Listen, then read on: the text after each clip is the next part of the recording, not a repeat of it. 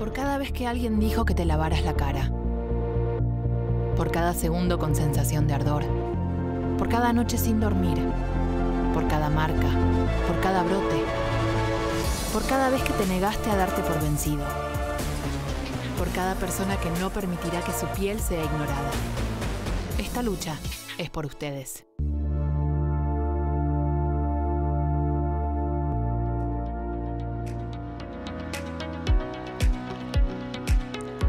Buenos días a todos. Soy Ana Macei, responsable de comunicación científica de La Roche-Posay y quiero darle las gracias por abrir un espacio en sus agendas para acompañarnos la mañana de hoy. En La Roche-Posay nos mantenemos firmes con nuestro propósito de acompañarlos en su formación médica, promoviendo la dermatología que cambia vidas desde los primeros días de nacido. Porque tal como vimos en el video, cada vez son más las personas que sufren problemas en la piel, niños, adolescentes y adultos y estos problemas pueden afectar profundamente su calidad de vida. Es por eso que hoy, junto con la Sociedad de Dermatología Pediátrica para Latinoamérica, les presentamos el primer Summit de Dermatología Pediátrica para Pediatras, coordinados por los directores académicos, la doctora Paula Luna, médica dermatóloga y dermatopediatra, secretaria general de la Sociedad de Dermatología Pediátrica para Latinoamérica y SOARPSO, directora del Fellow de Psoriasis y Dermatosis Inflamatoria del Hospital Alemán y miembro de la Sociedad Argentina de Dermatología. Y el doctor Norberto Giglio, médico pediatra, médico de planta de epidemiología Hospital de Niños Ricardo Gutiérrez de Buenos Aires y profesor de epidemiología de la Escuela de Medicina de la Universidad Austral, miembro de la Sociedad Argentina de Pediatría. Bienvenidos doctores, buenos días. Buenos días Ana, muchísimas, muchísimas gracias por, tu presentación y por la invitación a coordinar este, este nuevo summit, el primer summit de dermatología para pediatras. Así que muchísimas gracias. Bueno, Paula, muchísimas gracias. Es un gusto para mí compartir esta reunión con vos y con todo el equipo de, La Roche y todos los disertantes. Y Paula eh, nos va a hablar de un tema apasionante que tiene que ver con con algo que, hizo, digamos, un boom en los últimos, en los últimos años, eh, vinculado a lo que es el microbioma humano y lo que tiene que ver con la microbiota y cuál es el impacto en nuestras vidas, en nuestra salud. Así que los dejo con ella que va a ser una presentación más que interesante e innovadora para todos. Bueno, muchísimas gracias por, la invitación eh, a hablar de este tema tan interesante como es el microbioma y además la idea de, hablar de microbioma antes de hablar del resto de los temas que vamos a hablar hoy es porque atraviesa a todas las patologías y en realidad atraviesa al cuerpo humano. Pero ¿qué es el microbioma? ¿Qué es el microbioma humano? Este concepto que ahora está en todos lados y el que todo el mundo habla, ¿cuánto sabemos? ¿De qué significa? ¿Y por qué todo el mundo habla ahora de microbioma? Y bueno, miren un poquitito esta búsqueda de Skin Microbiome en eh, PubMed, cómo fue aumentando terriblemente la cantidad de reportes eh, sobre, sobre microbioma en, en estos años, eh, empezando probablemente cerca de 2000 2014-2015 un boom eh, hasta la actualidad. Y no solamente en PubMed aumentaron los reportes de respecto al microbioma, también aumentaron las búsquedas en Google a través de Google Trends. Así que este concepto de microbioma es sumamente importante para dermatólogos y también para pediatras, igual para todos los médicos. De hecho, no solamente fue un boom en la literatura médica, sino también incluso un boom en la literatura, eh, en, los medios de comunicación masivos de Estados Unidos con estos dos trabajos, eh, estas dos publicaciones en el New York Times y en el The Economist sobre temas referentes al microbioma. Así de importante es por lo menos tener conceptos básicos al respecto. Entonces, ¿qué es el microbioma? Bueno, el microbioma son comunidades complejas de microorganismos que viven en nuestro cuerpo y conforman un verdadero ecosistema. Si bien hace mucho que sabemos que los microorganismos son importantes y que, y que son nuestra flora comensal, recién con técnicas de biología molecular se ha podido realmente interpretar ¿cuál es la importancia de estos microorganismos? El proyecto Microbioma Humano como un espejo del del clásico proyecto Genoma Humano, se desarrolló, fue lanzado en 2007 y se desarrolló como una extensión entonces del proyecto Genoma Humano y constituye el proyecto de biología molecular más grande de los últimos tiempos. Su objetivo fue lograr un catálogo de todos los microorganismos que viven dentro y fuera de nuestro organismo y cómo influencian a la salud y a la enfermedad. ¿Y esto por qué es así? ¿Y por qué sucedió esta explosión en los últimos años? Porque en realidad con los cultivos convencionales solo se detecta un 1% de las bacterias que viven en nuestro cuerpo. Pero, como les, dije, eh, como les mencioné previamente, con el advenimiento de técnicas de biología molecular, tanto amplificación y secuenciación de ADN como otras técnicas, se, se permitió tipificar innumerable cantidad de organismos, de microorganismos, entonces poder comprender un poco más en profundidad este concepto del microbioma. El advenimiento, además de la metagenómica, logró retratar la comunidad bacteriana e identificar y observar la abundancia relativa de cada una de estas especies presentes en nuestro organismo.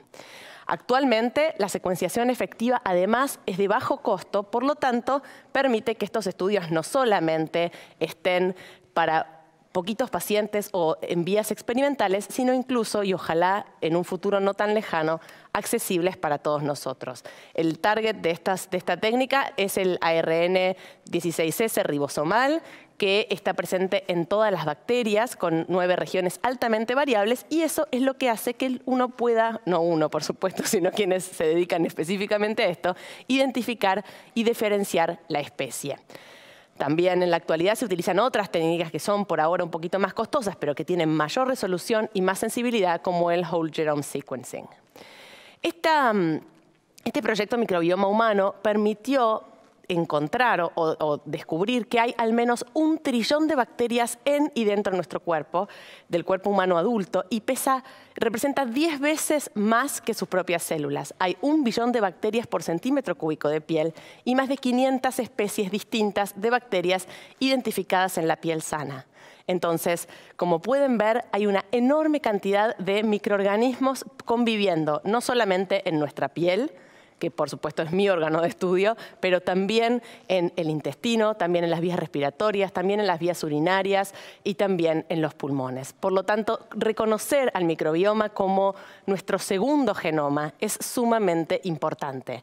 Este microbioma en realidad tal vez no es nuestro segundo genoma, tal vez es nuestro primer genoma, porque si contáramos con los, genes, cuántos genes tienen los humanos, alrededor de 23.000, y cuántos genes del microbioma humano viven en nosotros son más de un millón de genes. Por lo tanto, este concepto de que somos solamente un 10% de genoma humano en nuestro organismo me parece muy interesante, porque probablemente el microbioma es mucho más fácil de modular y es nuestra segunda huella, eh, es como nuestra huella digital o nuestra firma, pero es mucho más fácil modular este segundo genoma que el genoma humano propiamente dicho. Existen entonces múltiples factores que influencian nuestro microbioma. Hay factores intrínsecos y factores extrínsecos. Entre los intrínsecos tenemos factores genéticos como la edad, el sexo, la etnia, la presencia de comorbilidades, el estado de la inmunidad del paciente o de las personas y también otros factores que son extrínsecos y que influencian de alguna manera a nuestro microbioma, como el medio ambiente, la forma de, haber nacido, puede ser por cesárea o por parto vaginal, no es lo mismo si los pacientes eh, reciben un tipo de alimentación u otra, si han estado expuestos o no a antibióticos o a otros fármacos, su ocupación, sus medidas de higiene habituales. Y esto es para hablar un poco del microbioma en general, pero hablemos específicamente del microbioma cutáneo, que es un poco mi órgano de estudio. Este también está modulado por múltiples, múltiples factores. Incluso no solamente el microbioma se localiza en la capa superior de la piel, en la epidermis, sino incluso también alrededor de los anexos. Y eso también tiene injerencia en las patologías dermatológicas asociadas al microbioma. Este gráfico es muy interesante y hay, varias en la literatura descriptos cómo se van a localizar o cómo el, microbioma va a ser biodiverso. Cuanto más color, más biodiversidad y cuanto más biodiversidad, más salud. Cómo eh, en las distintas áreas del cuerpo hay predominancia de ciertos microorganismos por sobre otros. No es lo mismo nuestro microbioma en la piel de las áreas sebáceas que aquel microbioma de la piel de las áreas más húmedas o de las áreas más secas. Y eso condiciona también a las distintas patologías. Tampoco es lo mismo el, el, microbioma de un nonato, de un paciente que todavía no nació, que se cree, aunque de a poco vamos sabiendo que también hay cierta influencia del microbioma en el eh, bebé, en la panza de la mamá, pero es bastante estéril su microbioma y va cambiando a lo largo del tiempo y no es lo mismo si aquel paciente está o si el, si el humano está alimentado solo con fórmula o alimentado exclusivamente a pecho o si ya come comida sólida. Nuevamente, a más colores, mayor biodiversidad. No es lo mismo un paciente, por ejemplo, que recibió un tratamiento antibiótico o un paciente malnutrido, o incluso no es lo mismo el microbioma de un paciente, de un bebé, que de un paciente mayor a 100 años de vida. Entonces, tengamos algunos conceptos de cómo el microbioma actúa o cómo influencia a las distintas patologías dermatológicas. Ya hace varios años que hablamos de la influencia del microbioma de la piel en la dermatitis atópica. Sabíamos del rol que jugaba el estafilococo, pero ahora sabemos además que esta eh, biodiversidad, tal vez no es solo el estafilococo, sino es la disminución de la biodiversidad y la disminución del resto de las bacterias, que algunas son protectoras ante los brotes de dermatitis atópica. Y es muy interesante en este, eh, en este trabajo de la doctora Sergé cómo la disminución de esta biodiversidad en la línea azul precede muchas veces al pico de eczema y que, también va asociado a un aumento de la proporción de estafilococo y esta proporción de estafilococo también precede al pico de dermatitis y luego se disminuye esta proporción de estafilococo para finalmente mejorar el eczema. Creo que es sumamente relevante para nosotros este hallazgo. También hay muchísimo y cada vez se sabe más respecto del rol del microbioma en el acné, que también es un punto que se va a tocar en el día de hoy, acné, e incluso también hay un rol muy importante del microbioma y también el concepto de biofilm, tanto en acné como en, como en heridas crónicas, es muy importante cuando pensamos en el tratamiento de nuestros pacientes y en la fisiopatogenia de estas enfermedades, el rol del microbioma es esencial. Entonces, para concluir, fue algo muy, muy general sobre un tema que, es muy candente y de lo cual hay la inmensa cantidad de literatura. Pero el rol del microbioma en la salud y en la enfermedad es un tema sumamente interesante en el cual cada vez hay más investigación. La manipulación del microbioma parece jugar un rol muy importante en el tratamiento de distintas enfermedades. Y todavía hay pocas certezas porque esto es recién el comienzo. Esperamos entonces sus preguntas en el chat y pasamos a nuestro próximo invitado, a nuestro primer invitado internacional, nuestro amigo, el doctor Antonio Torrelo. Antonio es médico dermatólogo, especialista en dermatología pediátrica, jefe del servicio de dermatología del Hospital Infantil del Niño Jesús de Madrid desde 2007 y además ha sido expresidente de múltiples sociedades del Grupo Español de Dermatología Pediátrica, de la European Society de Pediatric Dermatology y además de la International Society of Pediatric Dermatology. Por favor, Antonio, contanos un poquitito, presentanos tu clase. Buenos días a todos. Antes de nada, quiero agradecer a la doctora Paula Luna su invitación a estar aquí con ustedes y también a los laboratorios Rajos Posé por su iniciativa y también por contar conmigo para esta presentación. Eh, la primera de las del día de hoy, por mi parte, va a tratar sobre la dermatitis del pañal. Se titula em, de una forma narrativa ABC de la dermatitis del pañal. La dermatitis del pañal, como todos pueden entender, es una, se define como una reacción inflamatoria por irritación, es decir, es una irritación primaria debida al contacto con el pañal. Y como su propio nombre indica, es relativa al uso del pañal, es decir, la dermatitis del pañal está condicionada por la presencia de un pañal. Si no hubiera pañal, no habría dermatitis del pañal. Sin embargo, en muchos textos, por extensión, se denomina dermatitis del área del pañal a otras lesiones que aparecen en la zona donde, que habitualmente está cubierta por el pañal, la zona perineal, pero que no están mm, primariamente asociadas al uso de pañales, aunque el uso de pañales pueda modificar la, presencia de esas dermatosis. Y hay un montón de ellas, cualquier enfermedad que pueda aparecer en esa zona de la piel, pues puede erróneamente confundirse con una dermatitis del pañal. Pero lo que nosotros hablaremos hoy día es sobre esta reacción inflamatoria por irritación debida al, contacto con el pañal o los productos que están contenidos en la zona del pañal. La dermatitis de pañal pues, eh, se inicia, eh, puede iniciarse en el primer mes de vida y tiene un pico de incidencia hacia los 6 o 9 meses. La prevalencia es muy alta. Se estima, varía según culturas y según, según países. Más o menos en, en nuestro ámbito se estima que afecta al 10% de niños por debajo de los dos años, pero su incidencia puede ser mucho mayor si se considera los casos leves que muchas veces no suscitan atención médica. Lo que sí es cierto que en los últimos años la dermatitis de pañal no es tan frecuente, es menos frecuente de lo que solía ser hace años. ¿Y por qué? Pues no lo sabemos exactamente, probablemente en esto tenga incidencia pues la mejora en las técnicas de producción o de fabricación de los pañales o bien otro tipo de eh, situaciones que hayan hecho que un mejor estándar, de unos mejores cuidados del niño hayan también implicado la presencia de una mejoría en la dermatitis del pañal. También hay que decir que la dermatitis pañal pues en determinadas culturas es inexistente, pues, pues porque en, muchas culturas no se usa pañal, o se usan pañales desechables, eh, o en otras se usan pañales eh, de tela o de otro tipo, pero nosotros nos referiremos obviamente a la dermatitis de pañal que vemos en, asociada al uso habitual de los pañales desechables. Y así la evolución de estos mismos ha sido, mm, digamos, clave en el desarrollo, en el, pico de incidencia de la, dermatitis de pañal y finalmente en el hecho de que la mejoría en las, en las últimas eh, eh, digamos, tecnologías de producción de pañales hace que actualmente pues, la, incidencia real de la dermatitis del pañal en, muchos ámbitos eh, del mundo pues haya disminuido muchísimo y este problema, aunque todavía puede verse, es mucho menos frecuente que hace unos años.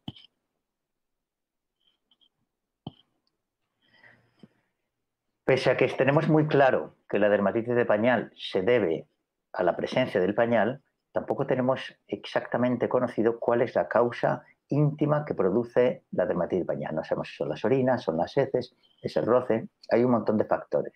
Pero desde luego sabemos que hay una serie de agentes que están implicados en, si no en la génesis, en el empeoramiento o en, la, aparición de, dermatitis del pañal más graves.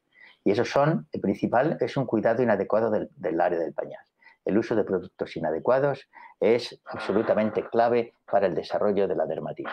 También insuficientes cambios de pañal. Es necesario el pañal cambiarlo, sobre todo en niños que están, niños muy pequeñitos, que están continuamente produciendo heces y orina, se necesitan cambios de pañal frecuentes. Y también usar unos pañales de mayor calidad ayudará muchísimo a que la dermatitis del pañal no aparezca o sea más leve. Existe también la posibilidad de que la inmadurez digestiva de los lactantes pueda tener una incidencia. Hay niños que están pues rápidamente, digamos que un lactante pequeñito puede eh, hacer muchas deposiciones al día, mientras que un lactante más mayor tiende a producir menos cantidad de deposiciones. Y esto también tiene una relación directa con el roce con las heces y, por tanto, también tiene una relación con la dermatitis de pañal. También determinadas anomalías del desarrollo de la zona genitourinaria o, o anal o malformaciones pueden originar graves dermatitis de pañal que sean muy difíciles de controlar. Ahí tienen en esquema los factores patogénicos de la dermatitis de pañal y no son únicos, sino que son múltiples. Están relacionados con distintos factores. El pañal, la orina, las bacterias y hongos, la alimentación, la dentición, fricción o heces. Estos son los posibles factores patogénicos. Desde luego el pañal tiene un papel fundamental y es que existe una oclusión de la, zona que condiciona una mayor absorción de productos tóxicos.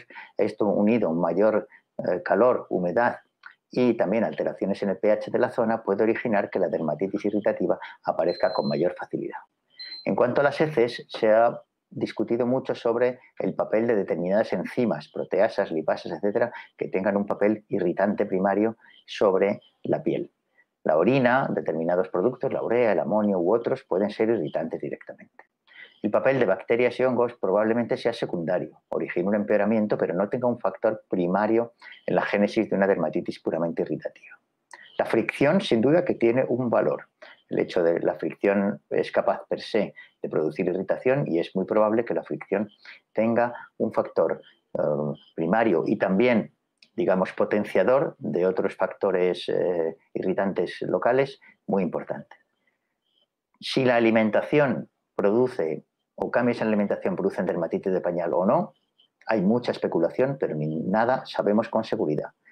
La dermatitis pañal puede aparecer tanto en alimentación materna como artificial y la vida del lactante es muy, es muy dinámica, se producen muchos cambios en su vida y es muy difícil de atribuir los cambios de la alimentación o cambios en, en otro tipo de hábitos a la producción de dermatitis del pañal. Igual que la dentición, que es también un, no sé si en, allí en Argentina muchas madres piensan que la dermatitis pañal se debe a que salen los dientes.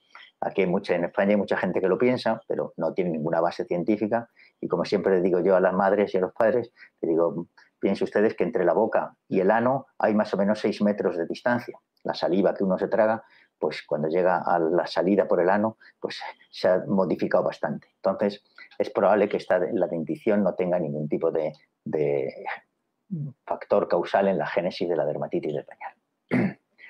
La dermatitis de pañal podemos reconocerla clínicamente, es muy sencillo, porque tiene unos patrones que son muy repetitivos. La forma más inicial y más leve es el eritema en W, porque toma esa forma, le veremos alguna foto, descrito por un pediatra francés, Marc Larregue. Si la erupción es más intensa, más extensa, se hace confluente, el eritema en W generalmente empieza afectando a las zonas más convexas, más en contacto con el pañal. Si la erupción progresa, empieza a afectar a los pliegues.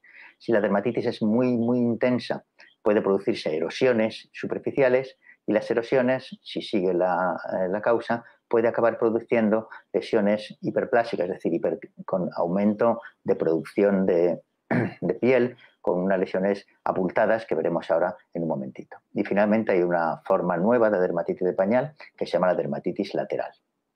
El eritema en W, como su propio nombre dice, tiene forma de W, afecta sobre todo a las zonas en más íntimo contacto con la zona del pañal. Y es esa zona que es, tiene esa forma de W y es un eritema con algo de descamación que es indicativo de una dermatitis de origen irritante. Cuando la dermatitis es más intensa, empieza a confluir, confluye, puede ser una W más intensa, como arriba a la izquierda, pero luego empiezan a afectarse los pliegues y cuando se afectan los pliegues, pues quiere decir que la dermatitis es mucho más intensa y en estos casos, pues ya el eritema en W generalmente es bastante poco molesto, pero la dermatitis confluente puede ser ya productora de irritación, escozor y otros síntomas en el niño. A veces puede ser muy llamativa, esta es una dermatitis irritativa muy importante, con aparición ya de pequeñas erosiones en las zonas de máximo contacto con el pañal. Y otra zona en la cual también hay importante afectación de pliegues. Se suman los factores, no es ya solamente el contacto, sino que la retención de sustancias en los pliegues de la zona ah, tapada por el pañal origina una mayor irritación por contacto más prolongado con los productos relacionados con la dermatitis. La dermatitis erosiva puede ser complicación de una dermatitis irritativa previa, pero a veces uno encuentra dermatitis erosivas en ausencia de irritación importante. Muchos de estos casos suelen darse en niños más pequeñitos, más lactantes, mucho más bebés, más pequeños, y se asocian muchas veces con la presencia o con la producción de gran cantidad de heces y con mucha frecuencia la utilización de productos de limpieza con perfumes o, con, jabones que son relativamente inadecuados. Así, una de las formas que, eh, aunque es relativamente común en los niños, pero que desde un punto de vista conceptual no está relacionada con el pañal, sino con las heces, es lo que me prefiero llamar dermatitis perianal. En este niño pueden ver claramente cómo la dermatitis está relacionada con una discreta incontinencia de heces que tiene un aspecto amarillento y más líquido, esto más unido a la, limpieza, a la fricción con productos de, de, limpieza, acaba por producir erosiones que a veces son relativamente difíciles de tratar en los niños. Pero pueden ver aquí que la zona de máximo contacto con el pañal está respetada. Simplemente que el tener la zona cerrada, la zona ocluida y el contacto de un cachete con otro, con los productos de las heces, pues origina claramente una dermatitis que tiene todo el aspecto de estar relacionada con la producción de heces. Como les decía, las dermatitis erosivas, cuando se cronifican, pueden producir lesiones hiperplásicas, que son las que tienen a la derecha, que son como unos abultamientos epidérmicos que eh, son mucho menos frecuentes ahora porque se necesita una dermatitis erosiva de larga evolución para que se produzcan, pero se, podían, se veían con mucha frecuencia años en, el siglo pasado o en el siglo anterior incluso, y se podían confundir con lesiones sifilíticas. Por eso los franceses lo llamaron pseudosifílides o sifiloides de Jacquet como manifestación. Pero fíjense cómo la dermatitis hiperplásica apenas tiene lesiones eh, de eritema en ninguna otra zona del pañal. Es una forma muy curiosa de presentación relacionada con el uso, con las erosiones crónicas en el, en el, lactante. Aquí tiene otras formas. Fíjense, en el de la derecha es un caso bastante reciente de un niño con una malformación que producía gran cantidad de heces y entonces, pues, eh, incluso en ausencia de eritema confluente, porque probablemente tuvieron buen cuidado, esas lesiones hiperplásicas son muy difíciles de eliminar y se deben principalmente a una reacción de la piel a las erosiones crónicas incluso en ausencia de eritema, como les decía hace un momentito. Otra eh, forma clásica, pero que hoy día prácticamente no se ve nunca, es lo que se llama el granuloma glúteo del lactante. El granuloma glúteo son esas lesiones, en realidad no son conceptualmente granulomas, pero son como lesiones abultadas, nodulares, tienen ese color violáceo y se deben a la eh, una, dermatitis del pañal erosiva crónica asociada al uso de corticoides y también al uso de antifúngicos y a un cuidado inadecuado. Producía esas lesiones de aspecto nodular, pero que francamente son tremendamente inusuales a día de hoy. La última forma de dermatitis de pañal que se ha descrito es esta la forma lateral, que esta dermatitis lateral afecta, en vez de estar en la zona de máximo contacto con las heces o con la orina, está en la zona lateral de las caderas y fue descrita por la doctora Margarita Larralde, la ella lo llamó la dermatitis Lucky Luke, como las pistolas del, famoso pistolero, y se debe a que la zona lateral del pañal tiene una zona plástica que está desprovista de la zona absorbente de celulosa y el contacto con esa zona lateral, que es puramente plástico, puede originar una dermatitis irritativa primaria o en algunos casos una dermatitis alérgica de contacto. ¿Y qué tenemos que hacer eh, desde el punto de vista práctico ante una dermatitis de pañal? Pues es bastante sencillo. La dermatitis de pañal es relativamente, no es muy complicada de tratar, sobre todo las formas leves y moderadas. Las formas graves pueden ser más difíciles y pueden requerir el, manejo por un dermatólogo, pero la mayor parte de las dermatitis de pañal se pueden manejar en atención primaria. Lo primero es, ante un niño que tenga una cierta tendencia a producir dermatitis de pañal, es evitar todo aquello que además de lo que ya tiene, le irrite más. Muchas veces en un niño que es un poco irritable, el uso de toallitas con perfumes o con jabón es inadecuado.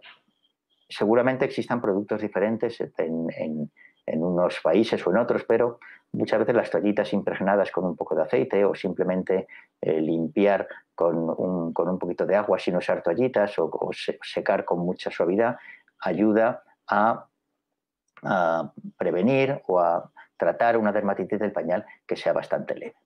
Como el título decía ABC, pues hay una forma ABC de manejar la dermatitis del pañal, que es, creo que lo puede hacer cualquiera. La primera es la A, quiere decir aireación, tener la zona del pañal bien aireada, bien seca.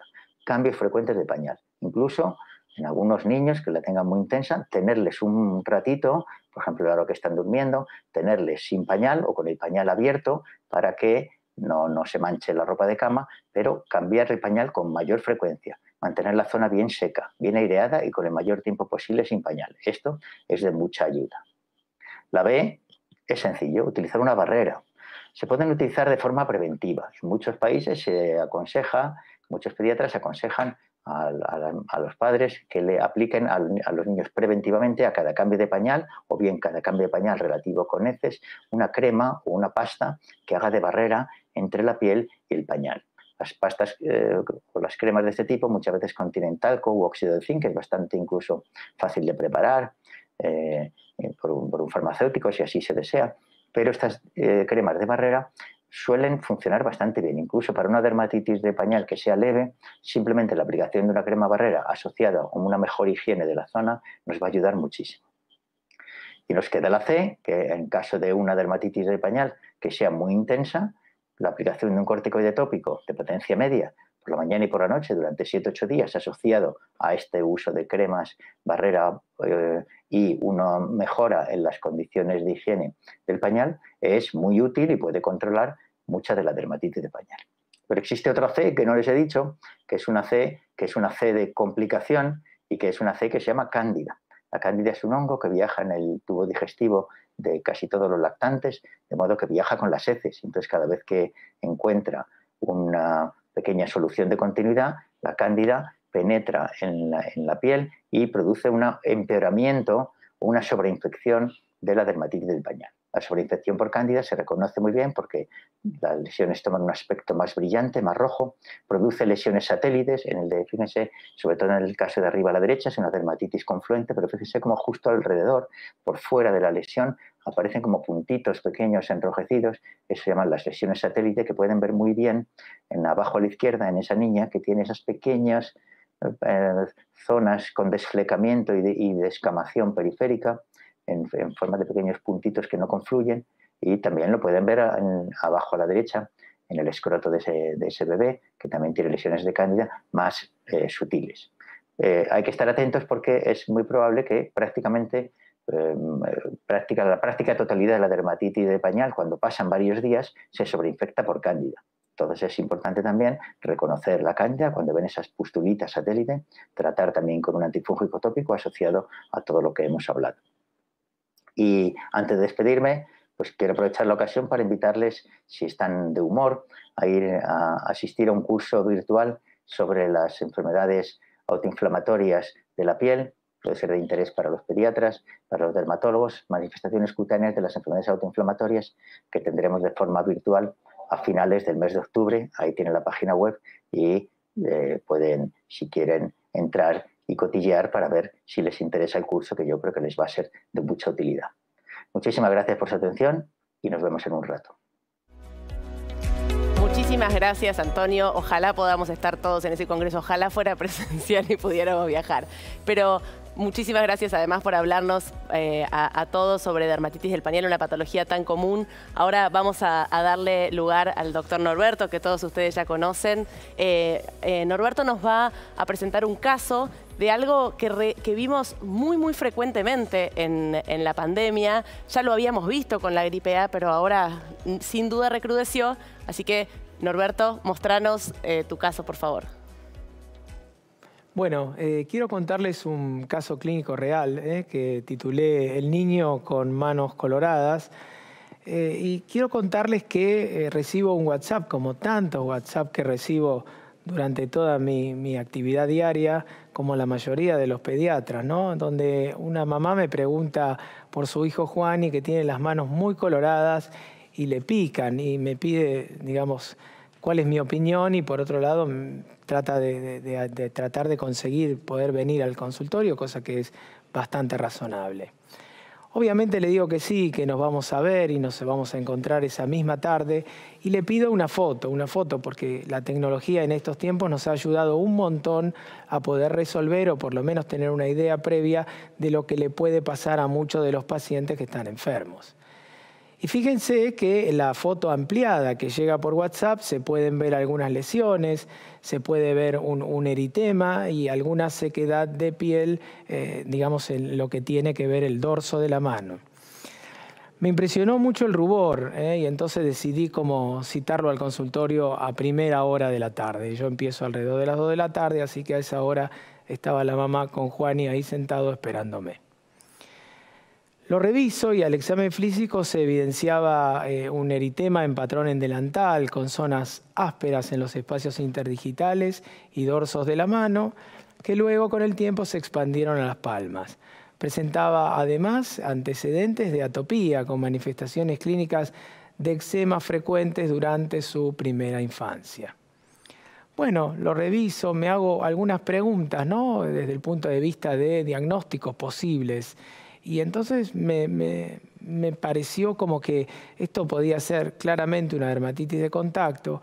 También pensé en las causas, el estrés, dermatitis por frío o infecciones por COVID-19 que habíamos visto. Si bien no habíamos, no habíamos visto este patrón, habíamos visto manifestaciones dermatológicas en las manos de algunos pacientes que padecieron la enfermedad.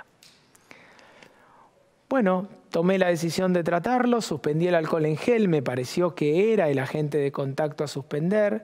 Recomendé Sindet eh, para el lavado de manos, indiqué unos corticoides tópicos, además de un bálsamo multireparador para calmar el prurito y acelerar la reparación epidérmica. Bueno, eh, la verdad es que la respuesta fue favorable y ustedes pueden ver lo que fue la mano en esta foto antes y después donde se ve una mejoría importante, quedan algunas zonas de, eritema, pero en líneas generales eh, disminuyó el prurito y el paciente se sintió mucho mejor. Ahora, me quedan algunas dudas, ¿no? Desde el punto de vista de que el paciente mejoró, siempre es un alivio independientemente de la conducta terapéutica que nosotros tomamos. Pero bueno, ¿qué pasó? ¿Qué es lo que se hizo, digamos, adecuadamente? ¿Qué cosas se podían haber hecho y no se hicieron? ¿Y por qué el paciente definitivamente está mejor? Bueno, ¿habrá sido el definitivamente el alcohol en gel? Bueno, la estrategia fue retirarlo, ¿no? ¿Hubiese mejorado con menos tratamientos o simplemente habiendo suspendido el alcohol en gel se hubiese curado? Por otro lado, me pregunté, ¿no? Los tratamientos naturales que tan frecuentemente eh, llegan, digamos, desde el punto de vista de la información, si solamente con eso se hubiese curado y si esperamos una recaída o no en función de la resolución que tuvo el cuadro. Bueno, eh, quiero invitar a la doctora Noelia Capelato, quien va a tener una eh, interesante disertación y, me permito como que puedas eh, acercarte, Noelia, y, y, por otro lado, Paula, me gustaría que un poco la presentes a una persona tan importante para nosotros. Noelia, Noelia Capelato es médica de familia y dermatóloga, diplomada en cicatrización de heridas, miembro de la sección Abordaje Integral de Cicatrización de Heridas del Hospital Italiano de Buenos Aires. Gracias, Noelia. Bueno, gracias Paula por la presentación. Hoy vamos a hablar sobre barrera cutánea, clasificación de las heridas, etapas de la cicatrización normal y patológica, cuidado inicial de las heridas y vamos a charlar sobre algunos mitos sobre la curación de las heridas superficiales. Nosotros sabemos que la barrera cutánea es la parte más externa de la piel. Nos protege del medio ambiente como una de sus funciones más importantes y cuando pierde su integridad es cuando se da una herida. Por lo tanto, vamos a empezar definiendo qué es una herida, que es una lesión que produce una pérdida de continuidad de la piel y que esto determina o dispara diferentes mecanismos fisiológicos destinados a recuperar esa continuidad y la función que cumple la piel. La, forma de clasificar las heridas hay muchas, ¿sí? Puede ser, como vemos en esta diapositiva, por la forma que dio origen a la herida. Se puede clasificar también por si están o no contaminadas, de acuerdo al tiempo de evolución en agudas o crónicas, pero en este caso vamos a clasificarlas de acuerdo al espesor, a la profundidad. Las heridas superficiales solamente involucran epidermis y dermis superficial, solo la parte más superficial de la dermis. Estas son las escoriaciones y las erosiones. De espesor parcial, epidermis y hasta la dermis profunda. Y las heridas de espesor completo afectan completamente la piel. El proceso de cicatrización es una secuencia de eventos que se da a partir de la aparición de una herida es un proceso dinámico que pasa por diferentes fases y que tiene el objetivo de la reparación tisular. En el inicio de una herida, en la fase hemostática, el actor principal es la plaqueta. Llega al microambiente de la herida, a la zona de la herida y forma el tapón de fibrina. Gracias a la vasoconstricción se evita el sangrado, el sangrado este, importante de esa herida.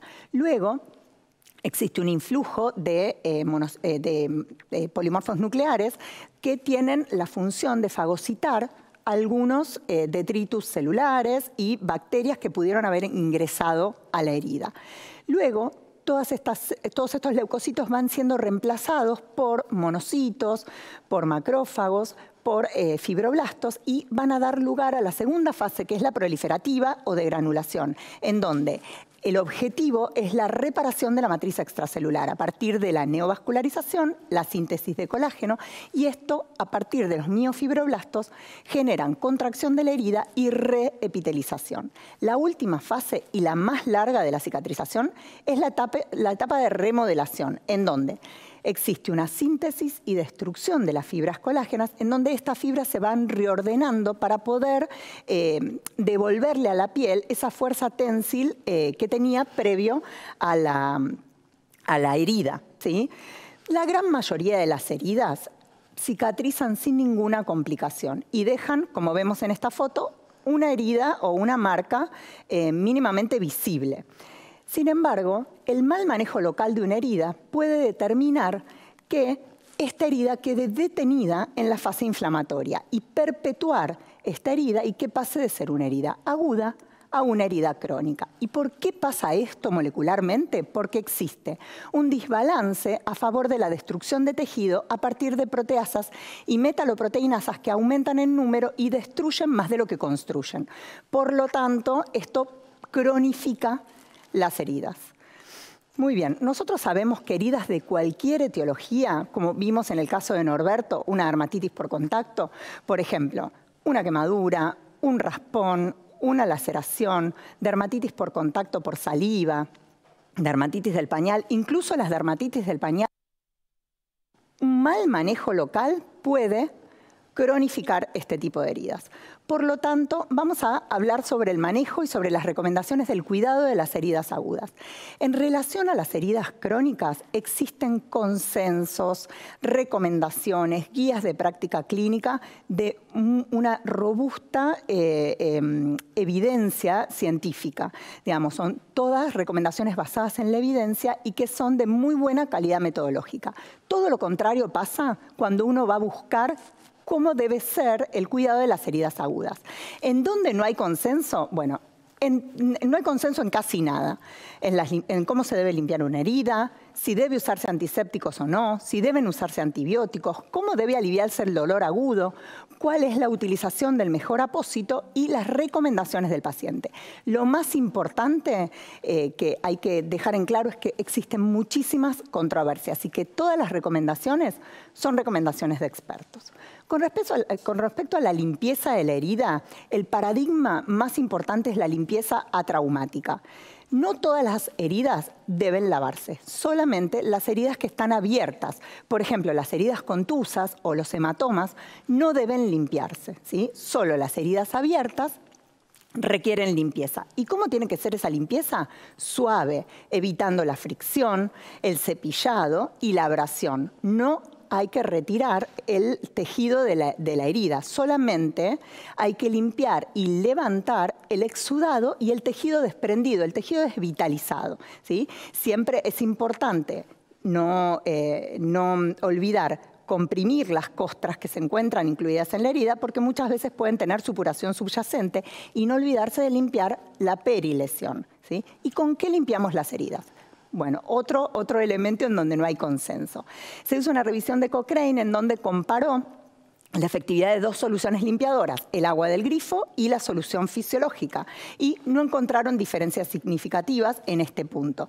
Pero teniendo en cuenta que eh, hay una gran heterogeneidad en Latinoamérica en el acceso al agua potable, nosotros eh, tenemos que recomendar, si no tenemos claro si los pacientes tienen acceso a agua potable, que lo realicen con solución fisiológica, que hiervan el agua o que usen agua destilada.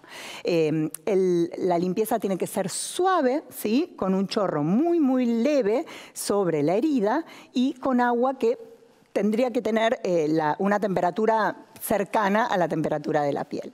Entonces, las soluciones antisépticas. ¿Tienen que desinfectarse todas las heridas? ¿Están todas infectadas? ¿Con qué lo desinfectamos? Bueno, los antisépticos clásicos, como el alcohol, la iodopovidona y la clorexidina, son los más utilizados. Pero en comparación, ¿sí? la clorexidina es el más adecuado, ya que tiene una elevada cobertura para gérmenes, mucho mayor que el alcohol y que la iodopovidona. Puede utilizarse en lactantes y embarazadas, tiene baja resistencia bacteriana, muy baja frecuencia de efectos adversos y menor citotoxicidad. ¿sí? Como vimos en el caso de Norberto, en donde el paciente había tenido una reacción y que el alcohol lo irritaba, el alcohol eh, realmente desnaturaliza las proteínas y puede producir eh, irritación en las heridas. Y es por eso que no está eh, indicado. También tiene un efecto mucho más corto de acción y, por otro lado, la iodopovidona, que es tan popular en la limpieza de las heridas, tiene una gran citotoxicidad sobre todo en las heridas más crónicas, y tiene em, la posibilidad de producir alergias, eh, reacciones de contacto y por absorción y el uso prolongado trastornos tiroides. Es por esto que nosotros recomendamos que el antiséptico adecuado cuando esté indicado sea la clorexidina, solo heridas abiertas y sucias. Muy bien. Los antibióticos se tienen que usar en todas las heridas superficiales? ¿Siempre es mejor colocar un antibiótico tópico? Bueno, la respuesta es no. Solo deben utilizarse en heridas que presenten signos de infección. ¿sí? Nosotros sabemos que la carga bacteriana en una herida, cuando supera eh, una concentración mayor de 10 a las 6, en el microambiente de la herida se encuentran eh, de alguna manera compitiendo con las células de la herida, las células del huésped, por el consumo de oxígeno y el consumo de nutrientes. Por lo tanto, al aumentar esta proliferación a más de 10 a la 6, esto puede dar lugar a una infección local e incluso sistémica. Pero de ninguna manera todas las heridas se encuentran contaminadas de esta manera. Y el antibiótico tópico de por sí no ayuda ni a promover la cicatrización cuando no está infectada la herida, ¿no? puede generar reacciones de contacto y determinan resistencia bacteriana, que es un dato no menor. Por lo tanto, es importante tener en cuenta que no toda herida está infectada y es importante no confundir una infección con el proceso normal de cicatrización. Eh, en la fase normal de cicatrización puede haber en el curso normal de la herida una fase inflamatoria en donde existe eritema perilesional. En el centro de la imagen nosotros podemos ver este material de cobertura del lecho de la herida que es fibrina y de ninguna manera es exudado purulento.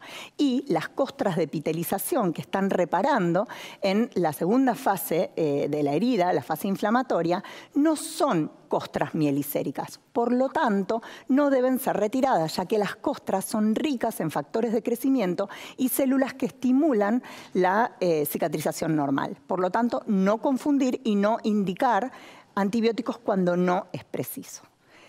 Otro de los puntos importantes es, ¿cura seca o cura húmedo? ¿Dejo al aire la herida o las, o las cubro? Bueno, la realidad es que el paradigma de la cura húmeda, eh, desde la publicación en 1962 en la revista Nature, en donde se comparó eh, las características y la velocidad de cicatrización de una herida cuando se las eh, dejaba eh, cubiertas o cuando se las dejaba sin cubrir, nos pudo demostrar que la cura húmeda acelera la epitelización, además permite el contacto del exudado, que ya dijimos que tenía este, efectos beneficiosos sobre la la cicatrización, mantiene estable la temperatura y el pH dentro de la homeostasis de la herida, protege de la desecación, aísla la herida del exterior, reduce el dolor y contiene el exudado. Es por eso que nosotros recomendamos como parte del eje del cuidado de las heridas agudas la cura en ambiente húmedo. ¿sí? ¿Con qué se hace? Tampoco hay consenso. No existe un apósito que sea mejor que otro. Lo ideal es utilizar una gasa antiadherente o una gasa estéril o parafinada. Y por encima colocar una gasa seca que absorbe, amortigua y aísla como apósito secundario. Si la herida se encuentra en un miembro, en un área circunferencial, es importante tratar de evitar el contacto con las telas adhesivas utilizando venda de gasa, porque sabemos que las telas adhesivas, cualquiera sea su forma, no están exentas de producir reacciones por contacto, que pueden ser ampollares, lesiones eh, por tracción y maceración. Y como último mito, ¿las heridas pican porque se están curando? ¿Es esperable en el proceso de la cicatrización? Bueno, sabemos que en la fase inflamatoria, dentro de los leucocitos, puede haber mastocitos que liberan histamina y generan prurito. Por otro lado, la desecación de las costras que generan tirantes, a veces el exudado de las heridas o las telas adhesivas pueden irritar las heridas y la perilesión. Sin embargo, bueno, todas estas eh, condiciones son molestas para el paciente y se pueden tratar con un bálsamo multireparador que calme y repare las heridas en estas condiciones. En el último punto, en las fases eh, finales de la cicatrización, en los procesos anormales como cicatriz hipertrófica y queloide, también suelen asociarse con prurito. Entonces, como comentarios finales, lo importante es que existe una gran variabilidad entre las recomendaciones y entre los productos que se utilizan para limpiar la herida. Y no existen consensos. Lo más importante es que la limpieza debe ser atraumática y la cura debe ser en ambiente húmedo como el eje principal del cuidado. ¿sí? Hay que dejar en claro pautas de alarma, siempre otorgar las indicaciones de curación por escrito y luego de la epitelización no olvidar de utilizar protector solar por al menos 12 meses. Bueno, muchísimas gracias, Noé. Invitamos también al doctor Torrelo a que se quede ahora o que se vuelva a sumar para las preguntas, eh, para un, ratito de preguntas y respuestas que está haciendo la audiencia. La verdad que los invitamos a, hacer preguntas, les estimulamos, así aprovechamos a nuestros, eh, a nuestros invitados que realmente son de lujo. Bueno, Antonio, la primera pregunta es para vos y la mandan por el chat y es... ¿Cuál crees vos o cuál recomendarías vos que serían las características que uno debe tener en cuenta para el pañal adecuado? Bueno, es difícil de saber porque nosotros eh, recomendar una marca o recomendar otra es muy difícil. Yo creo que los pañales comerciales eh, hoy día pues están muy conseguidos. No me atrevo a decir cuál es el pañal de la marca más adecuada. No, no la marca, pero tal vez las características. Sí, bueno, hombre, tiene que tener un gel de carboxicelulosa, tiene que tener varias capas de absorción, que y cuanto, o sea, la, principal característica es que sea capaz de absorber la máxima cantidad de agua posible, que mantenga también las, las por varias eh, películas superpuestas mantenga las zonas con máximo contacto del pañal siempre secas y que el agua se vaya hacia la zona de máxima absorción y finalmente que tenga una superficie que tenga menor capacidad de fricción con la piel. Y, con esas tres características pues eh, hay que encontrar el, pañal adecuado. Yo creo que la, competitividad entre las marcas pues es, grande, pero creo que eh, la mayor parte de ellas han conseguido unos pañales de muy alta calidad, muy recientemente, o sea, mm, en los últimos años la incidencia de dermatitis de pañal ha disminuido mucho con la mejora de los pañales desechables. Gracias, Antonio. Bueno, eh, Antonio, muchísimas gracias por, por tu presentación, eh, más que útil, sobre todo para la práctica clínica habitual. Y yo me pregunto como pediatra y seguramente muchas de las personas que, están en el auditorio, si realmente podemos hacer algo más por la dermatitis del pañal y, preguntarte si la intervención sobre las dietas puede, que tienen los bebés o los chicos que todavía usan pañal, si realmente eso puede ayudar a mejorar eh, lo que es la incidencia de dermatitis del pañal. Gracias. Pues yo creo que no está justificado ningún tipo de cambio en la dieta, ningún tipo de cambio en la, en la vida del niño eh, solo por tener dermatitis de pañal, salvo los, los factores locales. Ya hemos comentado claramente que no tenemos una, una, digamos, un conocimiento absoluto de cuál es la causa íntima de la dermatitis de pañal. Todavía no lo sabemos. Entonces, las cosas que sí sabemos que pueden empeorarla o que son factores patogénicos las tenemos que reducir. La dieta, yo no, creo que esté justificado en ningún caso cambiarla. Si acaso en algún bebé muy pequeñito que tuviera un, tránsito intestinal muy acelerado, pues intentar de alguna manera reducirlo. Pero esto es muy, muy, muy conflictivo, es, muy difícil. Yo creo que, la, presencia del matiz de paya no debe no debe eh, indicar ningún cambio en la dieta del niño que debe ser la que tiene que ser. Y esto no es, no es, la dieta no es un factor de primer orden, en mi opinión, en la dermatitis de pañal. Y por tanto, pues las restricciones dietarias pueden ser más peligrosas que beneficiosas. Gracias, Antonio. Muy importante para los papás tener que limitar lo menos posible esas actividades. Noelia, te quería hacer una pregunta, una pregunta a vos que viene en el chat. Vos mencionaste en tu charla un poquito respecto de tratar de evitar el uso de antibióticos cuando no hay infección clara, pero cuando la hay, ¿qué antibiótico se recomienda? Bueno, en realidad el antibiótico más indicado para bajar la carga bacteriana eh, sería el ácido fusico al 2% eh, por 14 días, eh, ya que uno intentaría reservar eh, la mupirocina, que tiene una mejor cobertura para los gérmenes gram positivos que producen lesiones, infecciones específicas en la piel, este, con este fin. Así que ese sería ácido fúsico al 2%, sí, 14 días, y bueno, después de ese momento uno tendría que ir evaluando a ver si eh, la, tasa de cicatrización mejoró o si eh, deberíamos utilizar un antibiótico por vía sistémica, ¿no? Bueno, Noelia, era una pregunta que, te quiero hacer yo. Este, ¿Estuve bien de darle el, detergente sintético o no? ¿Qué, me puedes decir del tratamiento? Bueno, en realidad el SINDET está dentro del paradigma de la, de la, limpieza traumática y de la cura húmeda y de tratar de no remover los factores de crecimiento y dejar que bueno, la piel haga lo que sabe hacer, ¿no? que es eh, cicatrizar. Así que la realidad es que es, este, es ideal lo que hiciste. Eh, lo que se puede hacer es tal vez sumar un bálsamo para que después pueda eh, reparar en esa última fase de la cicatrización, cuando está repitelizando, eh, devolverle la integridad a la barrera cutánea. Pero estuvo perfecto. Bueno, menos mal. Bueno, muchísimas gracias a los dos. en un ratito nos volvemos a encontrar, Antonio. Gracias, Noé. Vamos a, bueno, pasar. Sí, eh, vamos a ver un poco. Estamos bastante bien de tiempo, ¿eh? son las 11 de la mañana acá en Buenos Aires, Argentina.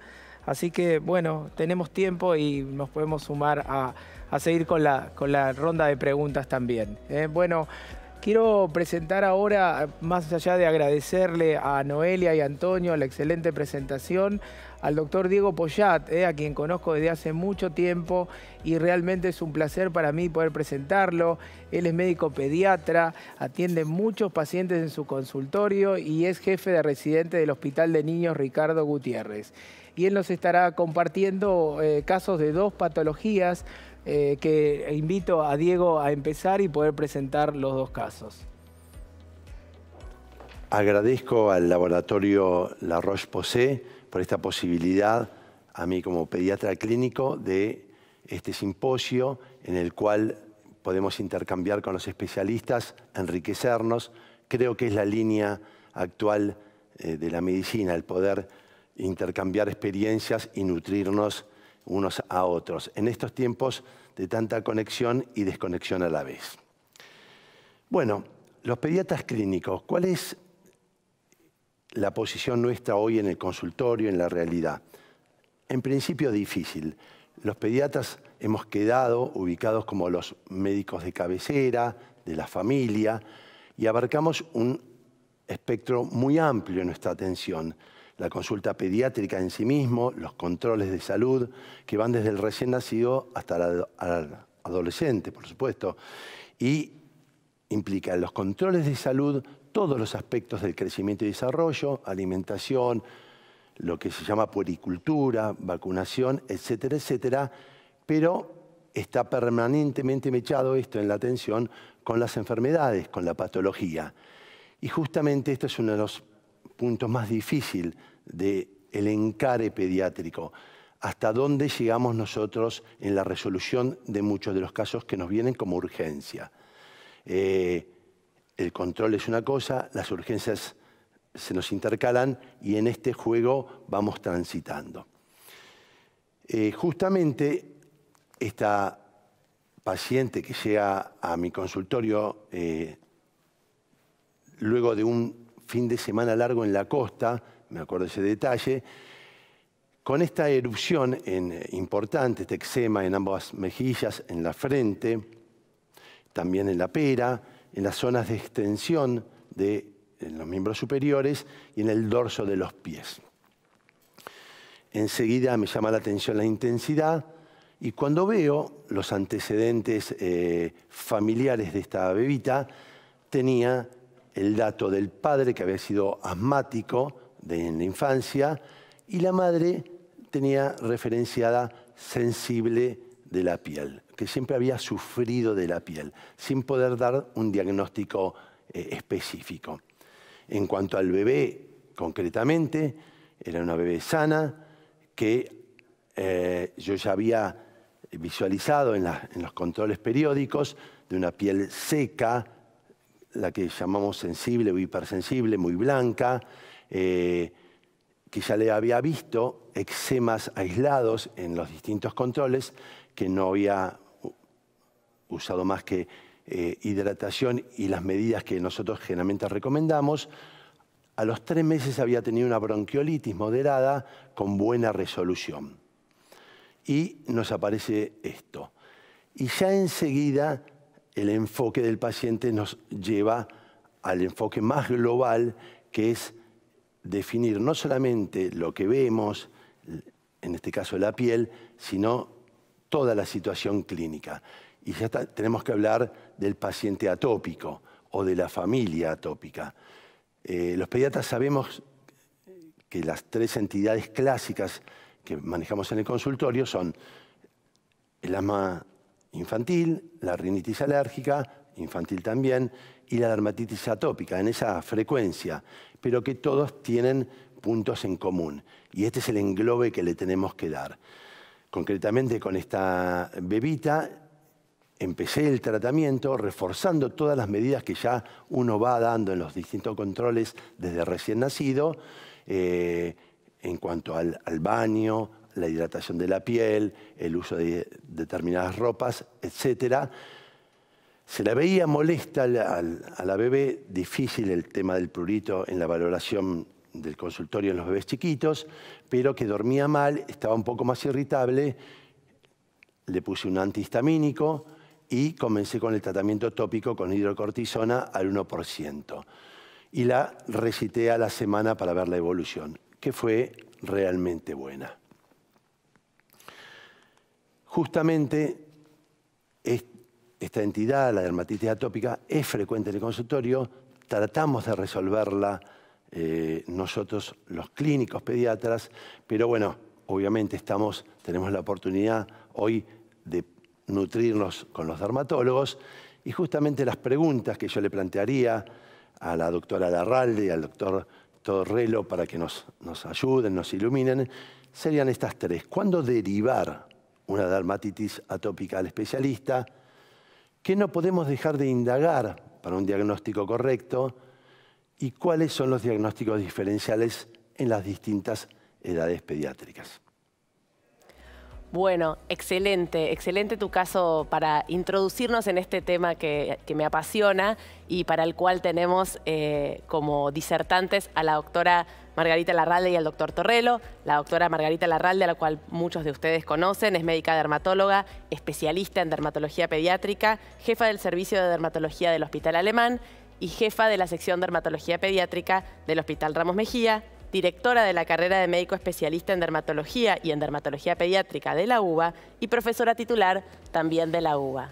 Entonces vamos a ver eh, un poco sus presentaciones. Muchísimas gracias. Eh, es mi turno ahora y les voy a hablar de una parte de la dermatitis atópica que para, para mí es muy importante, que es la dermatitis atópica grave en el lactante. La dermatitis atópica en el lactante, sobre todo si es un poquito intensa, es muy importante, porque la dermatitis atópica de inicio está demostrado que si aparece por debajo de los seis meses, se asocia con un alto grado de persistencia de la dermatitis atópica y con un alto grado de desarrollo de comorbilidades de tipo alérgico. Y también está demostrado que la dermatitis extensa en el lactante tiene la alta probabilidad de, devenir en una dermatitis atópica grave y también de asociarse con comorbilidades alérgicas. Por tanto, es una situación en la que es muy importante intervenir. Pueden pensar que es una situación rara, pero no es nada raro. En la práctica diaria se ven muchísimos niños con estas formas de dermatitis atópica que pueden ser heterogéneas desde el punto de vista de presentación, pero lo que todas ellas tienen en común es una amplia afectación de la superficie corporal. Y esto es un signo de muy mal, de, mal pronóstico en cuanto a la dermatitis y sus comorbilidades. Sin embargo, pese a que es muy importante desde el punto de vista médico tratar de controlar la dermatitis atópica desde muy pronto en la vida del niño, la verdad que las medicaciones, no hay ninguna medicación aprobada para esta edad, solamente hay algún corticoide que está aprobado por debajo de los cuatro meses, pero muy poco.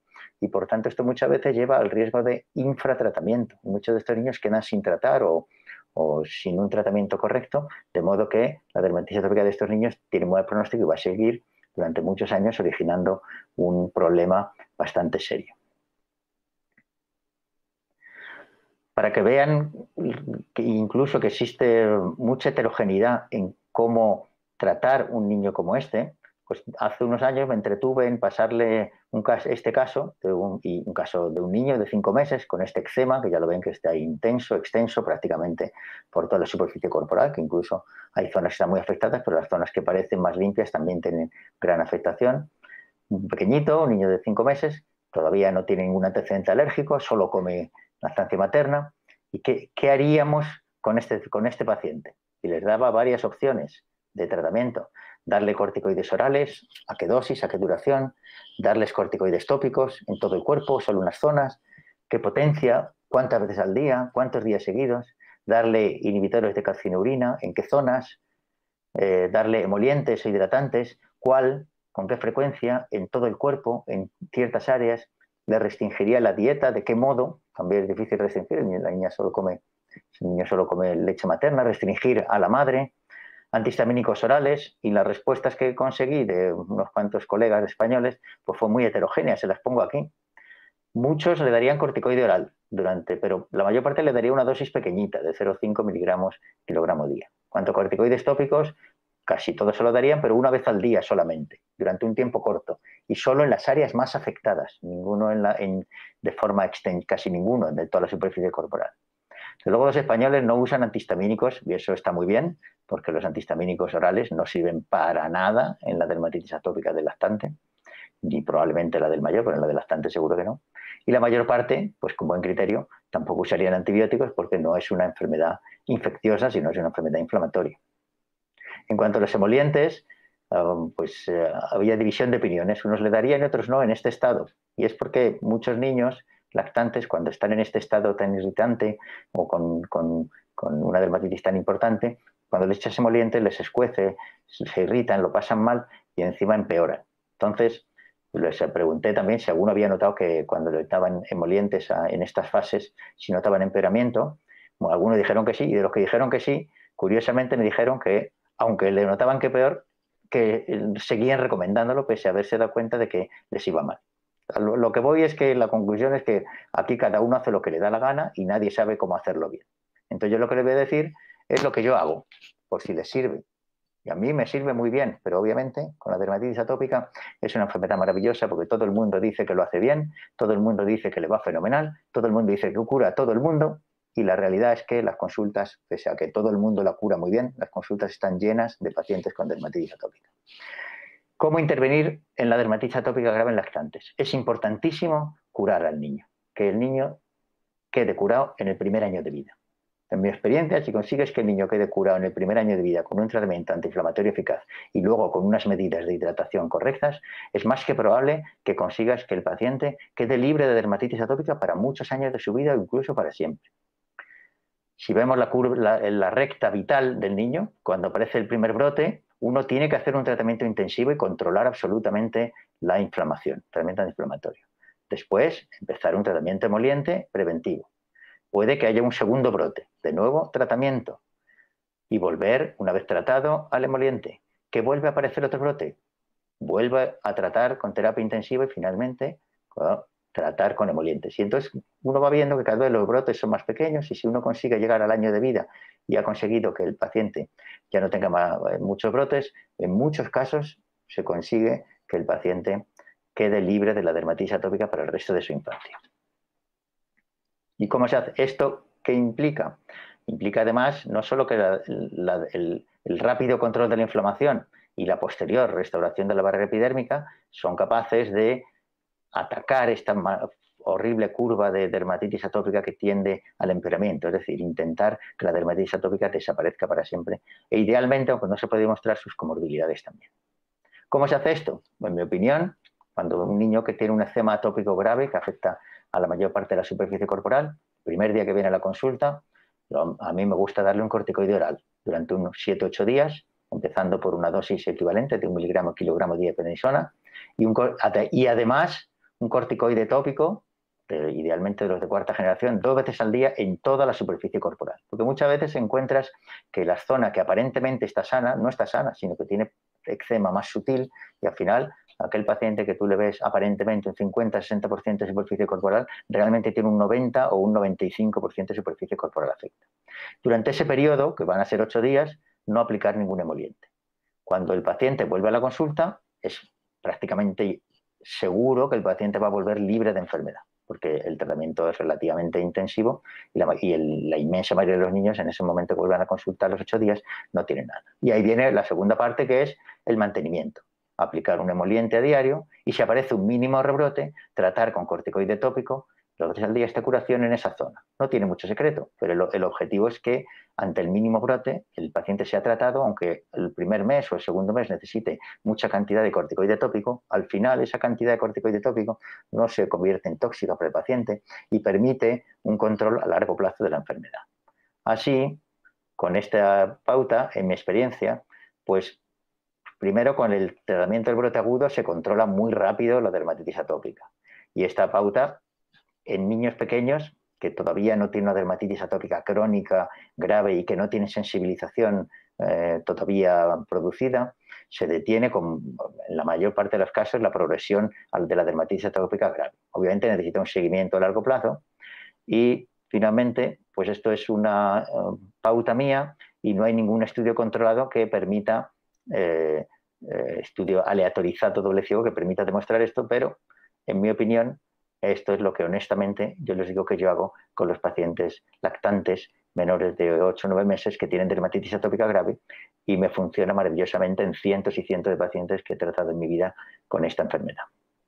Así que les dejo con la doctora Larralde, que seguro que les va a contar otras cosas interesantes sobre la dermatitis atópica. Muchas gracias.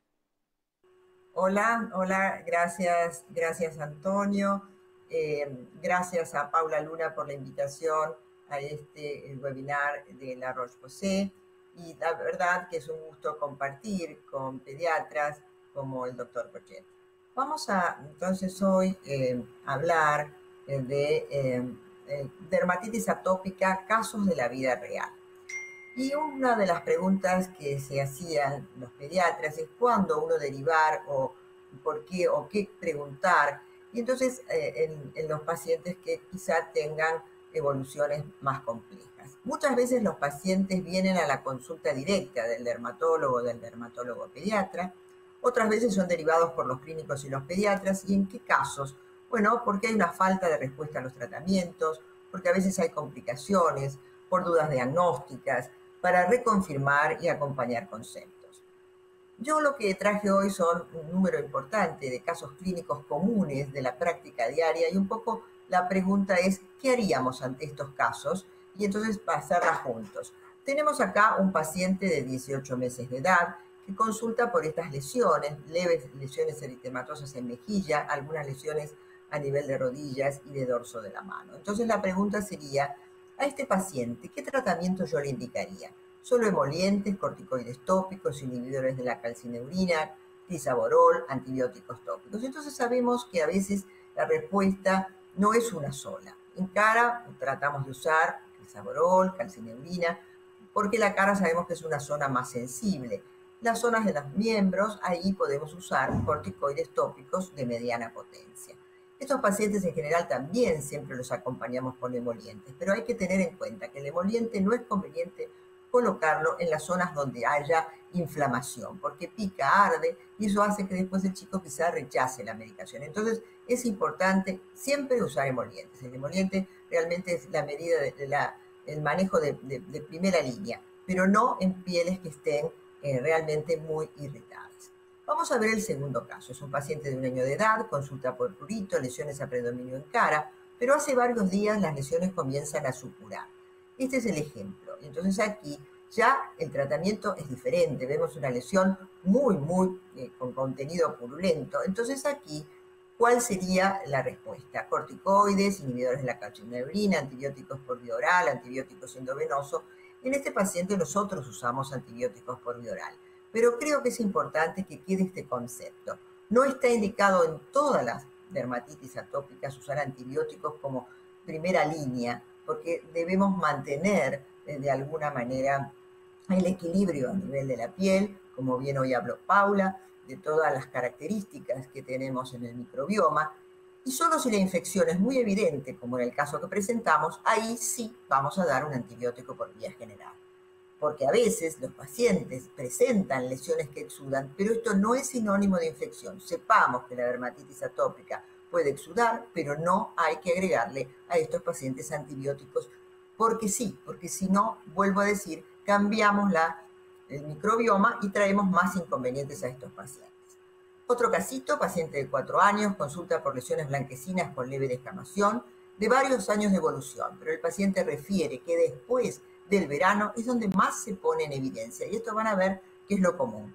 ¿Ante qué cuadro nos encontramos? Ante estas lesiones de dartro volante, eczematia cromiante, pitiriasis alba, así son los distintos nombres, incluso en la literatura cuando son en la cara, vulgarmente se los denomina cancha, y entonces en este caso sí que vamos a usar reparadores de la barrera como primera línea y como única línea probablemente. En estos casos no necesitamos usar otro tipo de medicamento.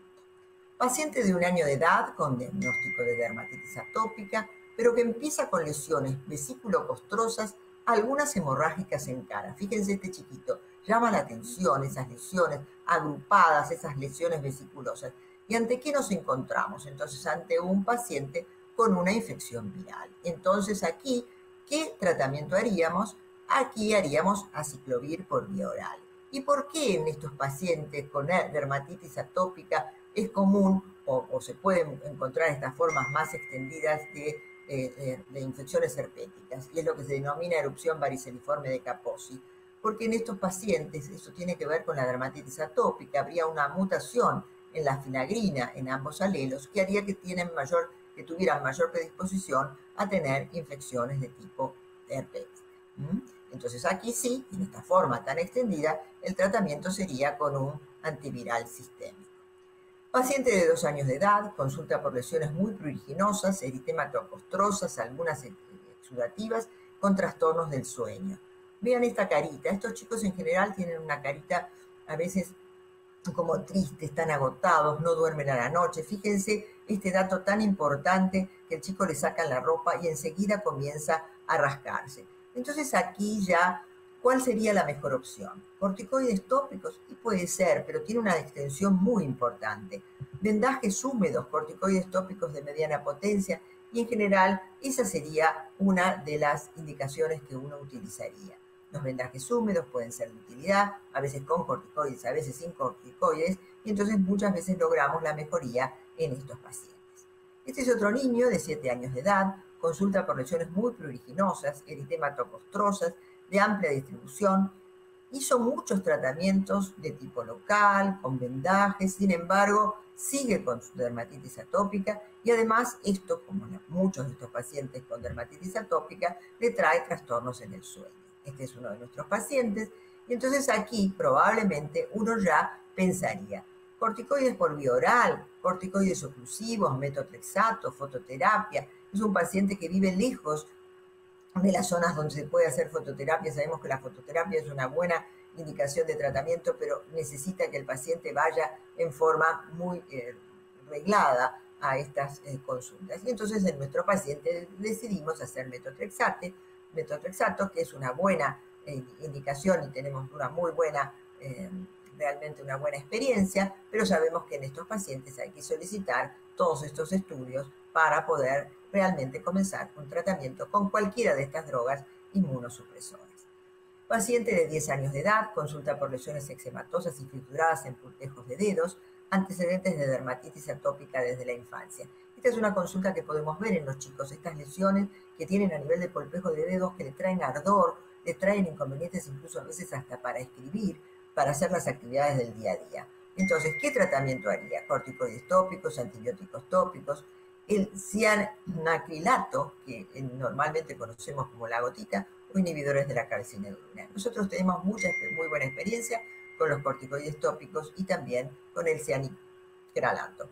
Entonces, para tener en cuenta, es un pequeño tip.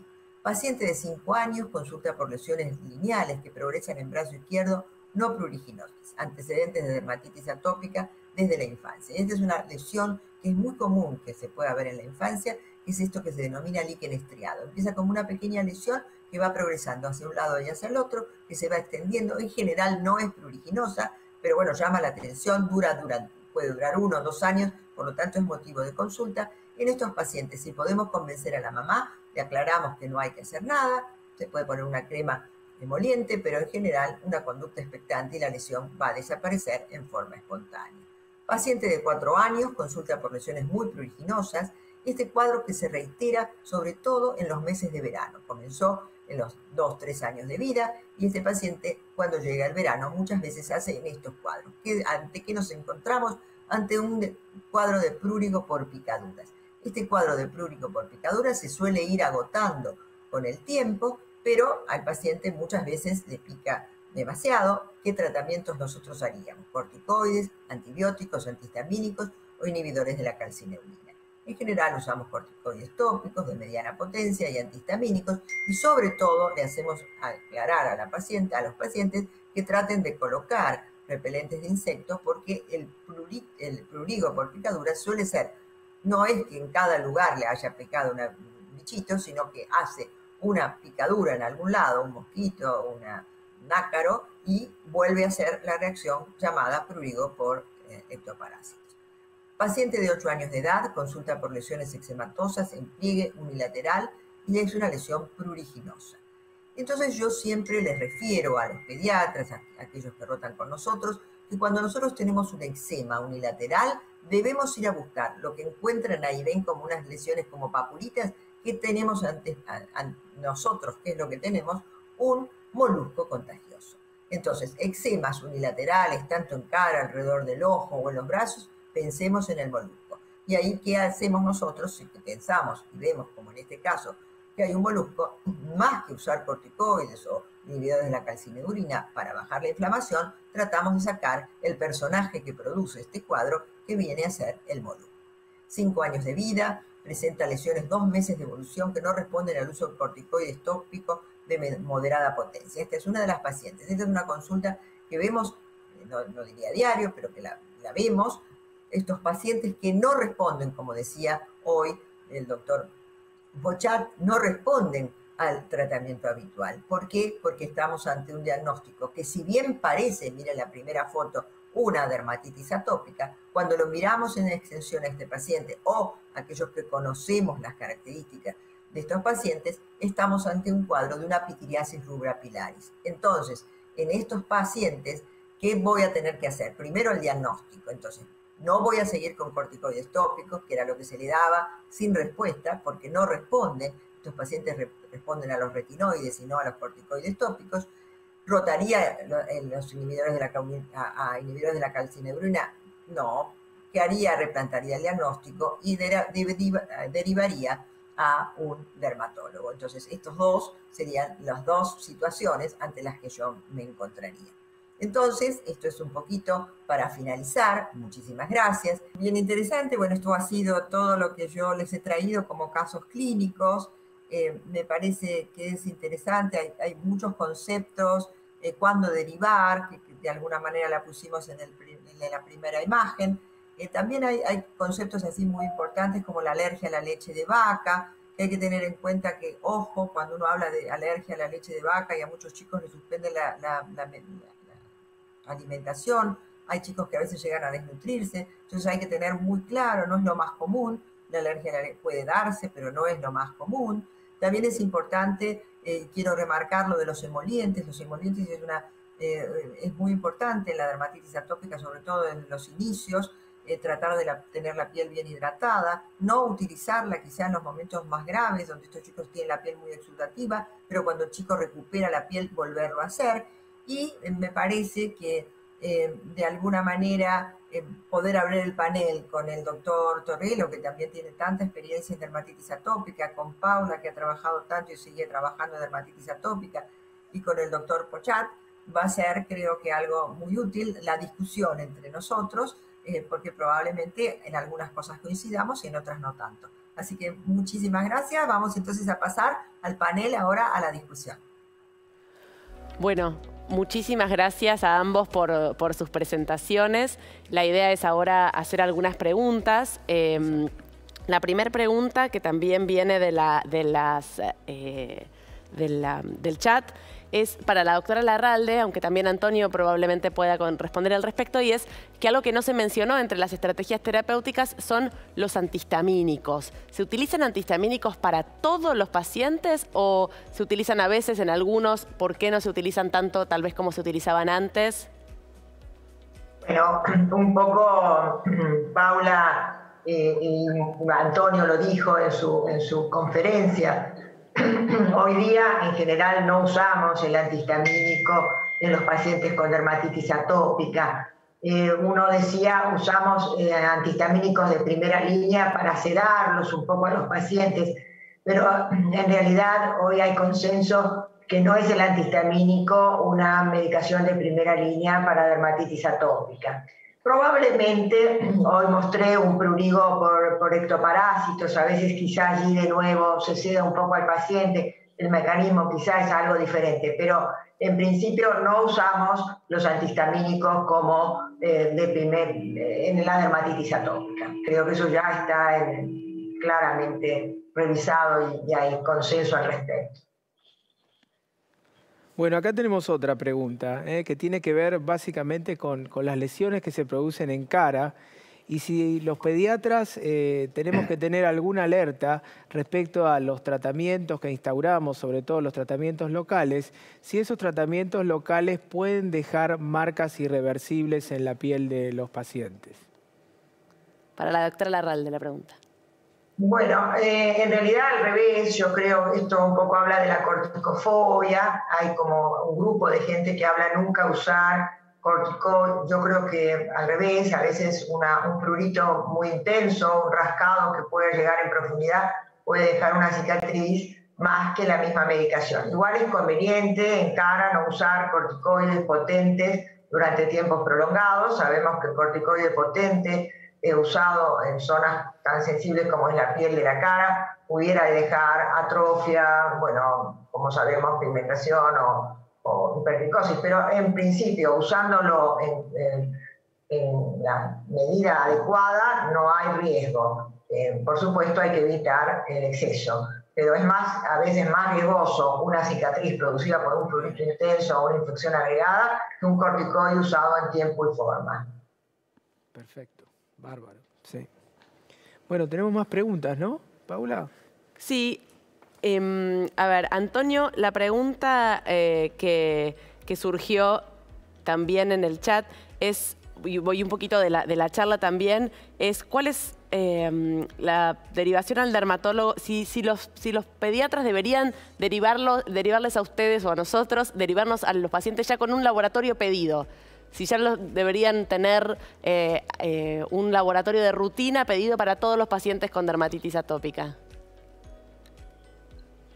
La verdad es que no, yo no creo que sea necesario hacer ningún estudio de laboratorio y menos a un lactante, porque no se espera ningún tipo de anomalía, ningún tipo de alteración de laboratorio en un lactante, salvo que, que tenga que sospeches que no sea dermatitis atópica habitual, sino asociada a de los rarísimos, rarísimos y excepcionales casos que pueden asociarse a inmunodeficiencia, fibrosis quística, pero eso será uno de cada millón de casos. Es decir, que estadísticamente es despreciable. O sea que, que yo creo que no, como rutina, no es necesario realizar ningún estudio analítico a niños con dermatitis atópica, niños pequeños no lo necesitan. Niños mayores, si está encaminado a hacer algún tratamiento sistémico, sin duda que sí, como basal para, para controlar los eh, posibles efectos adversos de las medicaciones sistémicas, pero en principio, salvo uh, otra indicación fuera de la dermatitis atópica, no, o, como digo, la posibilidad de, no sé, inmunodeficiencia, síndrome hiper IgE, cosas de ese tipo, no es necesario. Si, si se sospecha algún tipo de alergia alimentaria pues, o alergia respiratoria, pues sí, hacer los estudios dirigidos hacia las alergias, pero si clínicamente no hay eh, ningún tipo de, en la historia clínica o en, el día a día, no existe ninguna sospecha de ah, reacción alérgica, pues el niño debe ser tratado como lo que es una dermatitis atópica, una enfermedad propia de la piel que empieza en la piel, acaba en la piel, que puede asociarse con otras cosas, pero es siempre será una enfermedad que empieza en la piel y que se mantiene en la piel. Muy bien. Bueno, acá tenemos una pregunta eh, que recibimos recién eh, en relación a, un poco Antonio, para, para vos, una pregunta respecto a cómo es en el medio en el que te moves el trabajo en equipo compartido entre los pediatras y los dermatólogos. Nosotros en, nuestro país en general los tratamos, eh, cuando vemos que el paciente no mejora, lo derivamos y por ahí tenemos una comunicación en relación a cómo evolucionan y no mucho más. Eh, queríamos saber un poco tu experiencia en España.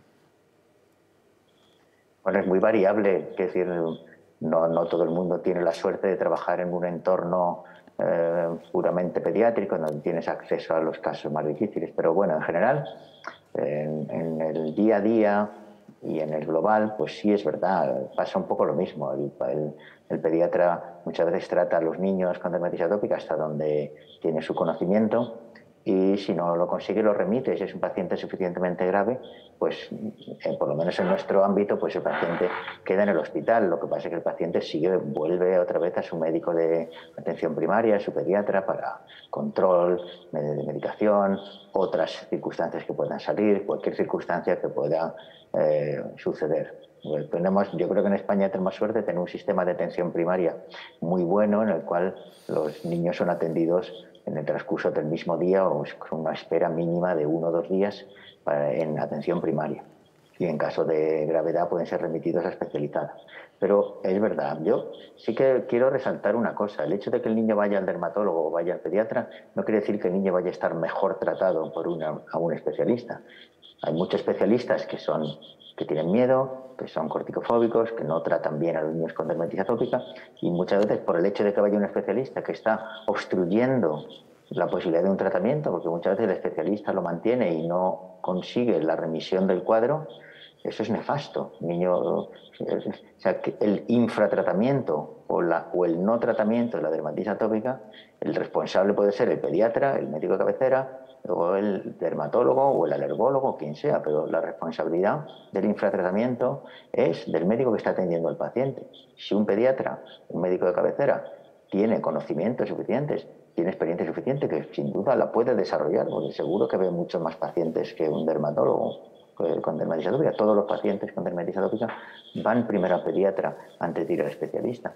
Si un pediatra tiene los conocimientos, la, la experiencia y se ha formado lo suficientemente, sería rarísimo. Vamos, yo veo que las mismas cosas que hago yo en la consulta, incluso los pacientes más graves, las puede hacer un pediatra, sin, pero vamos, o cualquier otro médico. Mandar, si es un corticoide tópico, cualquiera lo puede mandar. Si es un corticoide sistémico, cualquiera lo puede mandar. Si es un inmunosupresor, cualquiera lo puede mandar. Simplemente el control no es tan difícil.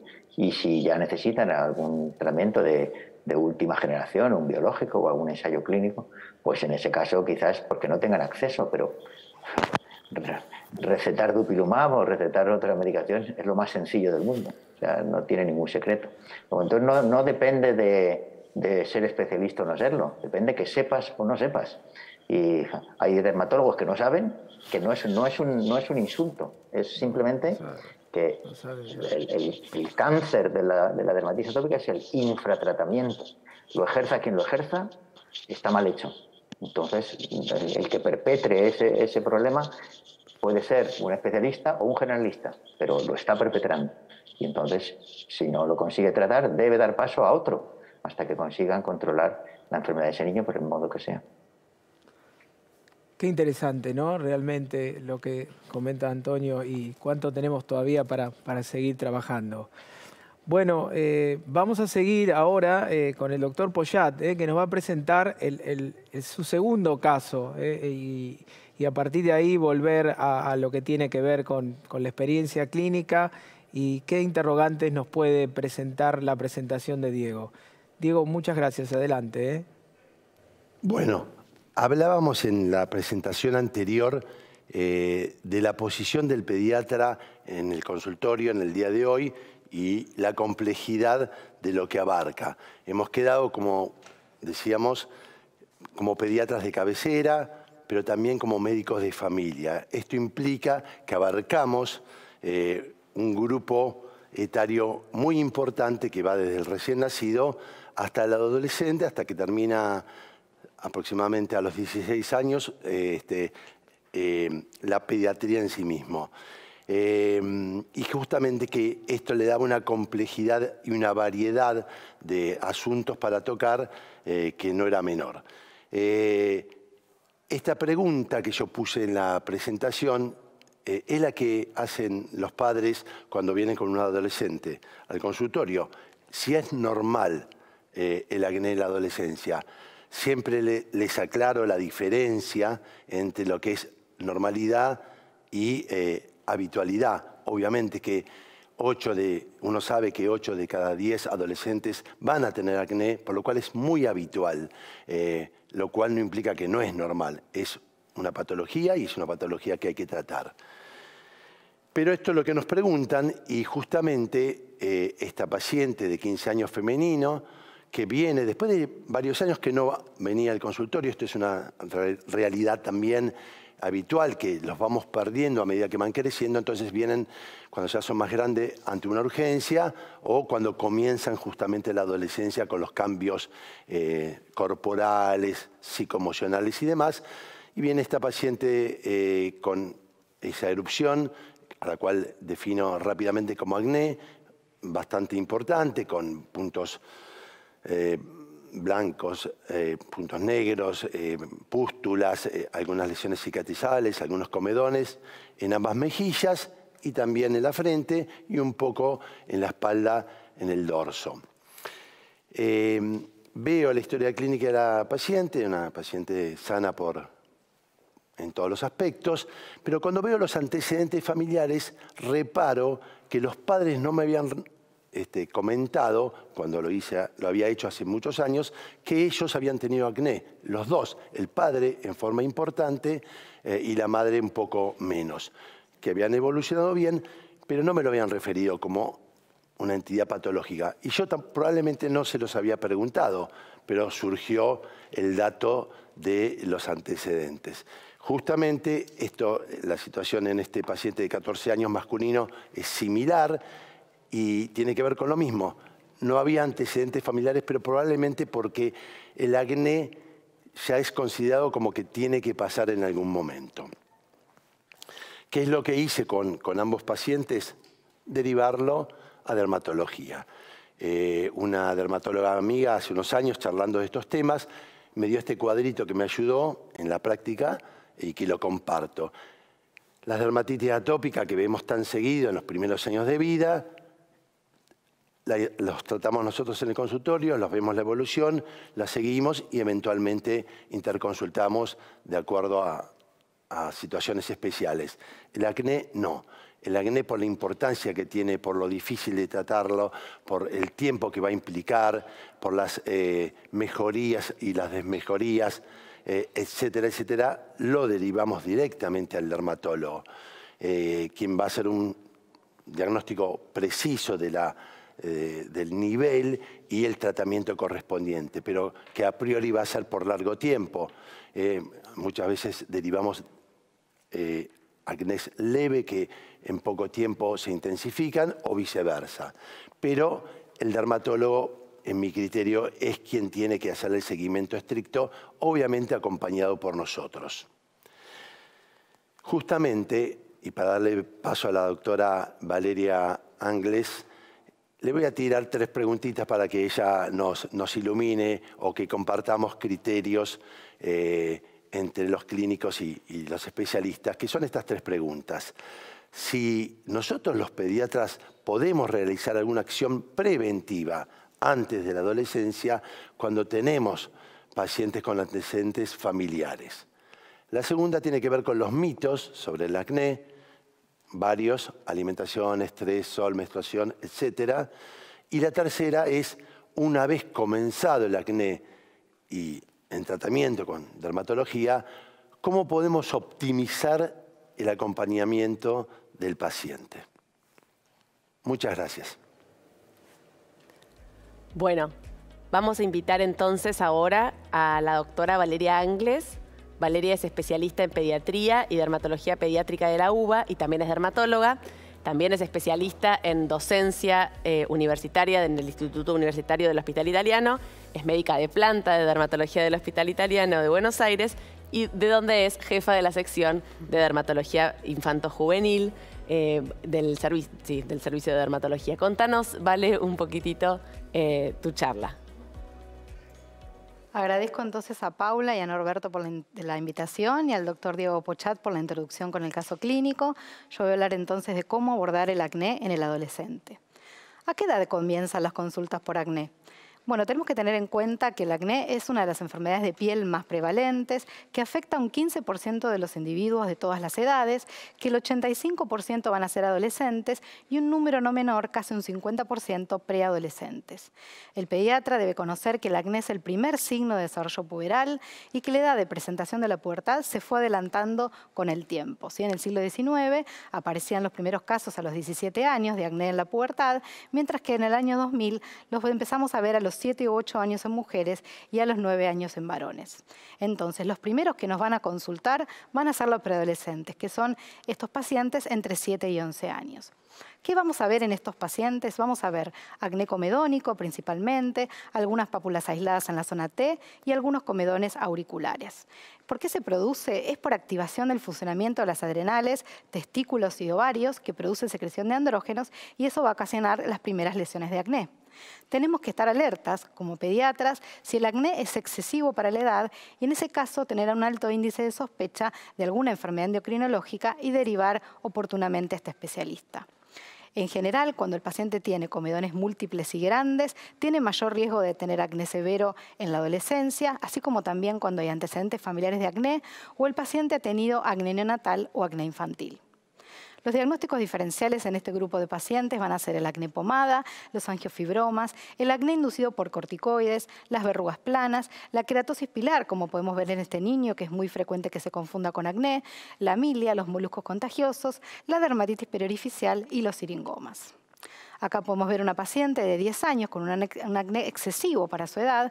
En este caso, amerita la interconsulta con endocrinología, evaluando historia familiar y consumo de fármacos, el examen físico buscando otros signos de desarrollo puberal, un laboratorio endocrinológico completo y realizar también una radiografía de muñeca para tener en cuenta la edad ósea y compararla con la edad cronológica y poder tener, eh, digamos, un diagnóstico a ver si el paciente está teniendo una pubertad precoz o puede tener una poliquistosis ovárica, un tumor endocrinológico o cualquier cualquiera de estas causas que deben ser evaluadas oportunamente por el endocrinólogo.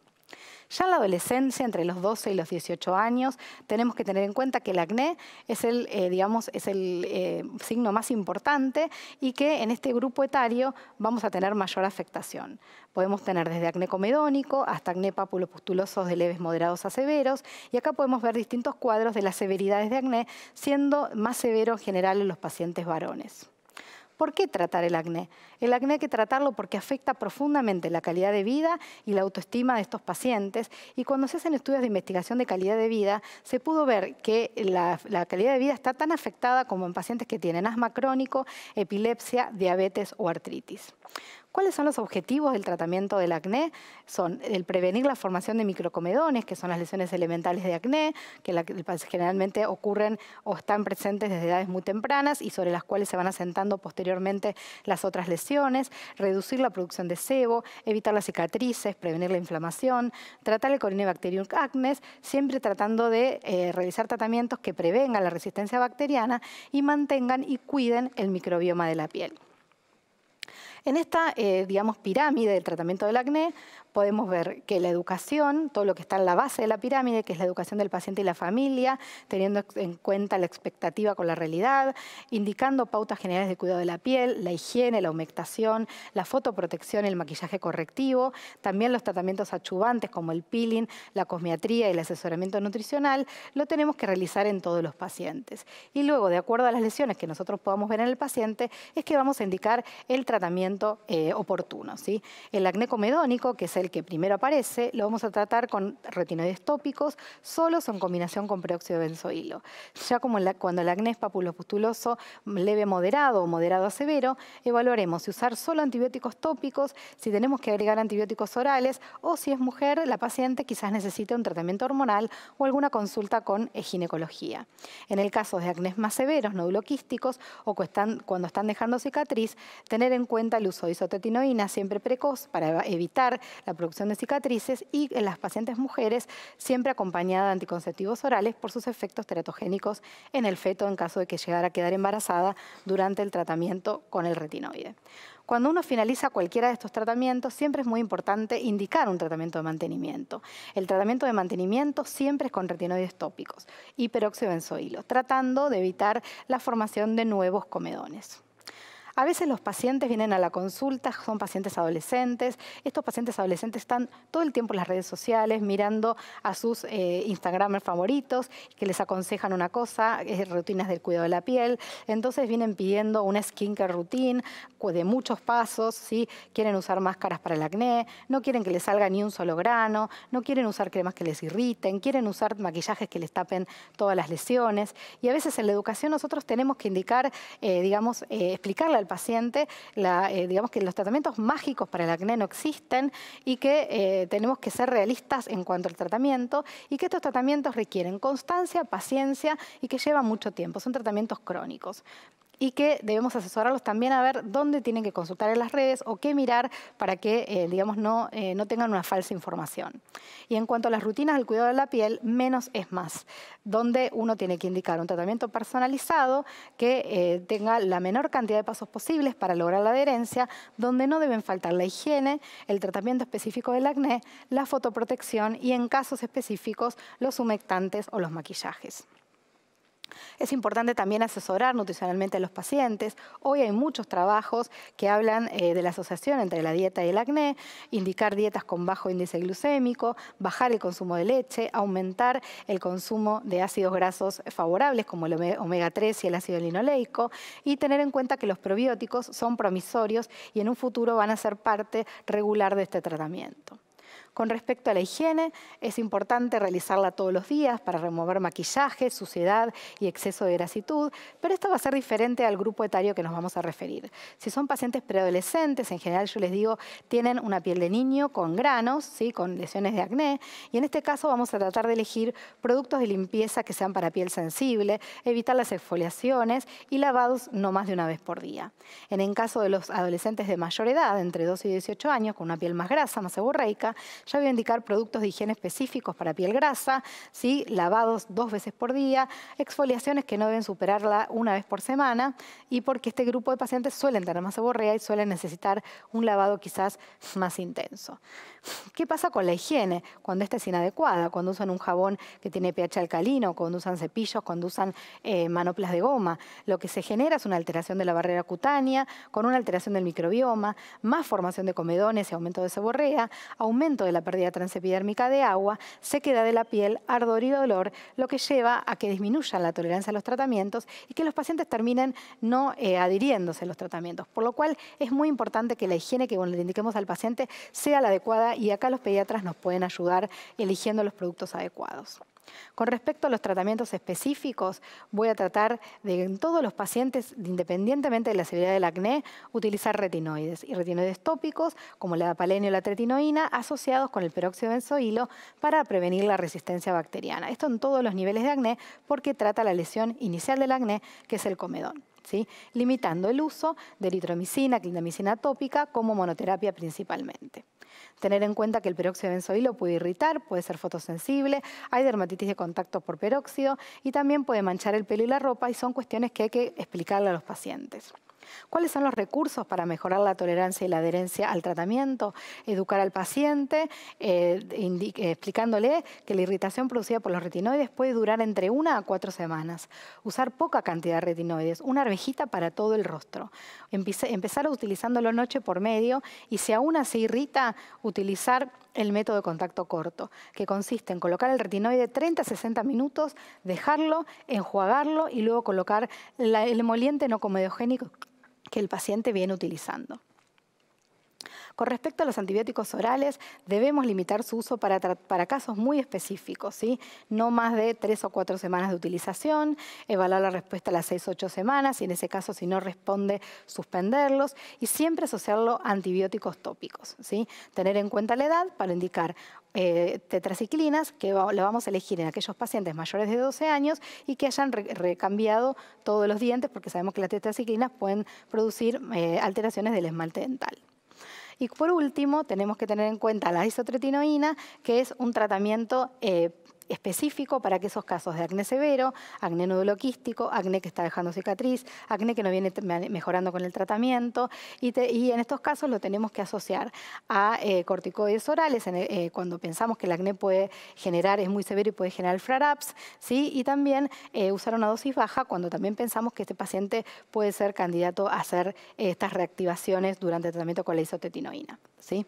Mantener el tratamiento con isotretinoína hasta que el paciente esté limpio de lesiones y continuarlo uno o dos meses más como consolidación. Siempre al finalizar, indicar el tratamiento de mantenimiento y recalcarle al paciente que el primer año es el que tiene mayor riesgo de recaída, por lo cual el tratamiento de mantenimiento lo debe cumplir, eh, digamos, estrictamente.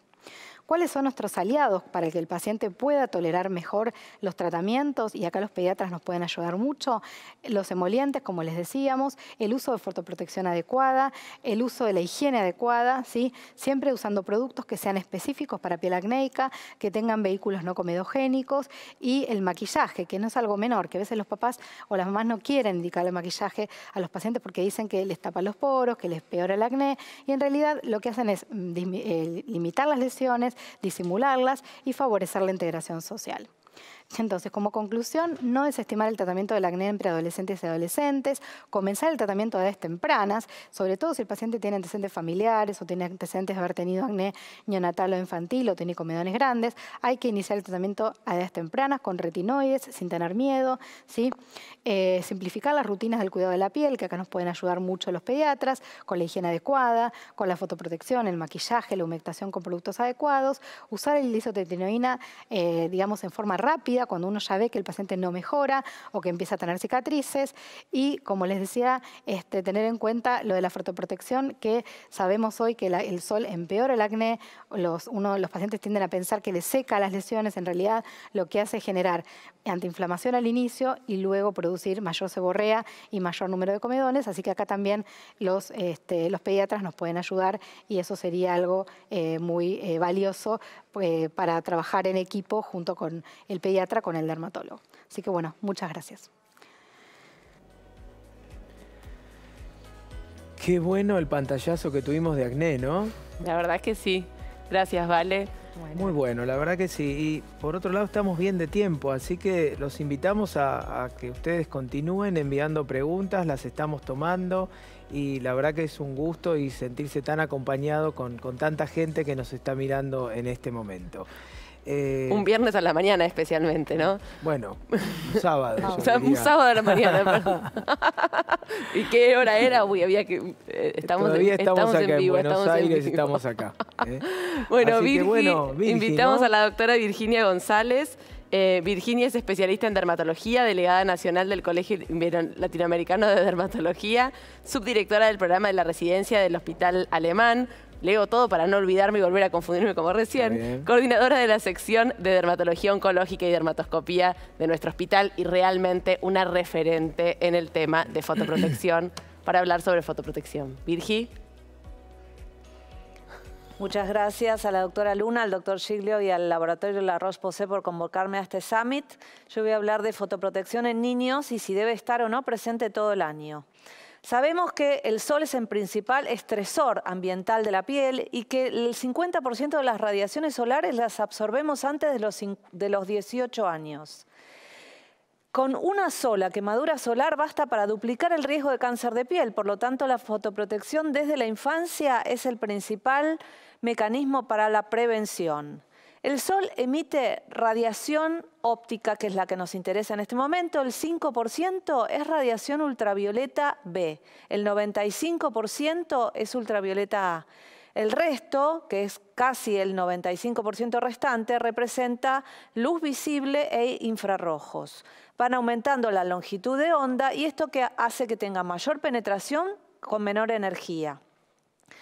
La irradiancia del Sol no es lo mismo a lo largo del día y a lo largo del año. Vemos que entre las 10 y las 16 horas los rayos ultravioleta aumentan lo mismo que de septiembre hasta abril los UVB son más altos. Sin embargo, los UVA son altos todo el día y todo el año. Y también depende de la latitud geográfica. Obviamente va a ser mayor cerca del Ecuador de las condiciones atmosféricas. Vemos que, cuidado, cuando está nublado nos confiamos, pero sin embargo las nubes dejan pasar hasta el 80% de la radiación solar. La altitud también influye, y más aún si estamos en una superficie donde hay nieve, que refleja hasta el 80% de la radiación. La arena, el cemento y el agua también reflejan, incluso dentro del agua hay radiación. Debajo de una sombra tenue como la de una sombrilla o la de un árbol también hay radiación. Y cuidado con los vidrios porque dejan pasar los UVA, la luz visible y los infrarrojos. Así que si estamos mucho tiempo dentro del auto también tenemos que protegernos. Los UVB por su longitud de onda solo llegan a la epidermis. En cambio, los UVA atraviesan la epidermis y llegan hasta la dermis completa. Los ultravioleta producen en agudo eritema, pigmentación, inmunosupresión, agravan alguna fotodermatosis y en forma crónica producen envejecimiento de la piel y son carcinógenos completos. Los UVB tienen como objetivo, como cromóforo al ADN, donde producen daño directo por formación de dímeros de pirimidina y son responsables de la mayoría del eritema solar también producen el bronceado clásico. En cambio, los UVA tienen diferentes cromóforos y van a producir daño indirecto del ADN a través de formación de radicales libres de oxígeno. Son responsables de una pigmentación inmediata por oxidación de la melanina, del envejecimiento de la piel, de inmunosupresión y agravan la mayoría de las fotodermatosis. Y ambos, como dijimos, son carcinógenos. Hay que saber qué es el bronceado y por qué insistimos tanto en no broncearnos. El bronceado se produce cuando los ultravioleta B producen daño genético. Esto activa la proteína P53 para estimular al melanocito que forme melanina. Y un bronceado a un intenso equivale a un factor de protección 2 a 4. Es decir, estar bronceados no nos garantiza seguridad. Por eso decimos que no existe un bronceado seguro y que el bronceado en realidad es un signo de daño genético. Y este daño es acumulativo, progresivo e irreversible. Pero también tenemos que estar atentos a la luz visible. Antes creíamos que era biológicamente inactiva, pero ahora sabemos que no. La luz visible es justamente la que capta el ojo humano y a su vez es captada por un receptor en el melanocito y esto lleva a pigmentación. Los fototipos más altos, las pieles más oscuras, se pigmentan con la luz visible del sol. Y también producen gran cantidad de radicales libres de oxígeno, con lo cual llevan al fotoenvejecimiento.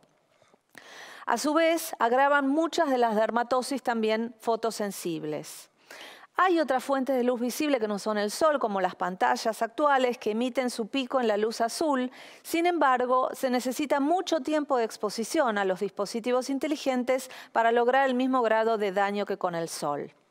Entonces, específicamente, ¿cómo protegemos a los niños? Son cuatro pilares.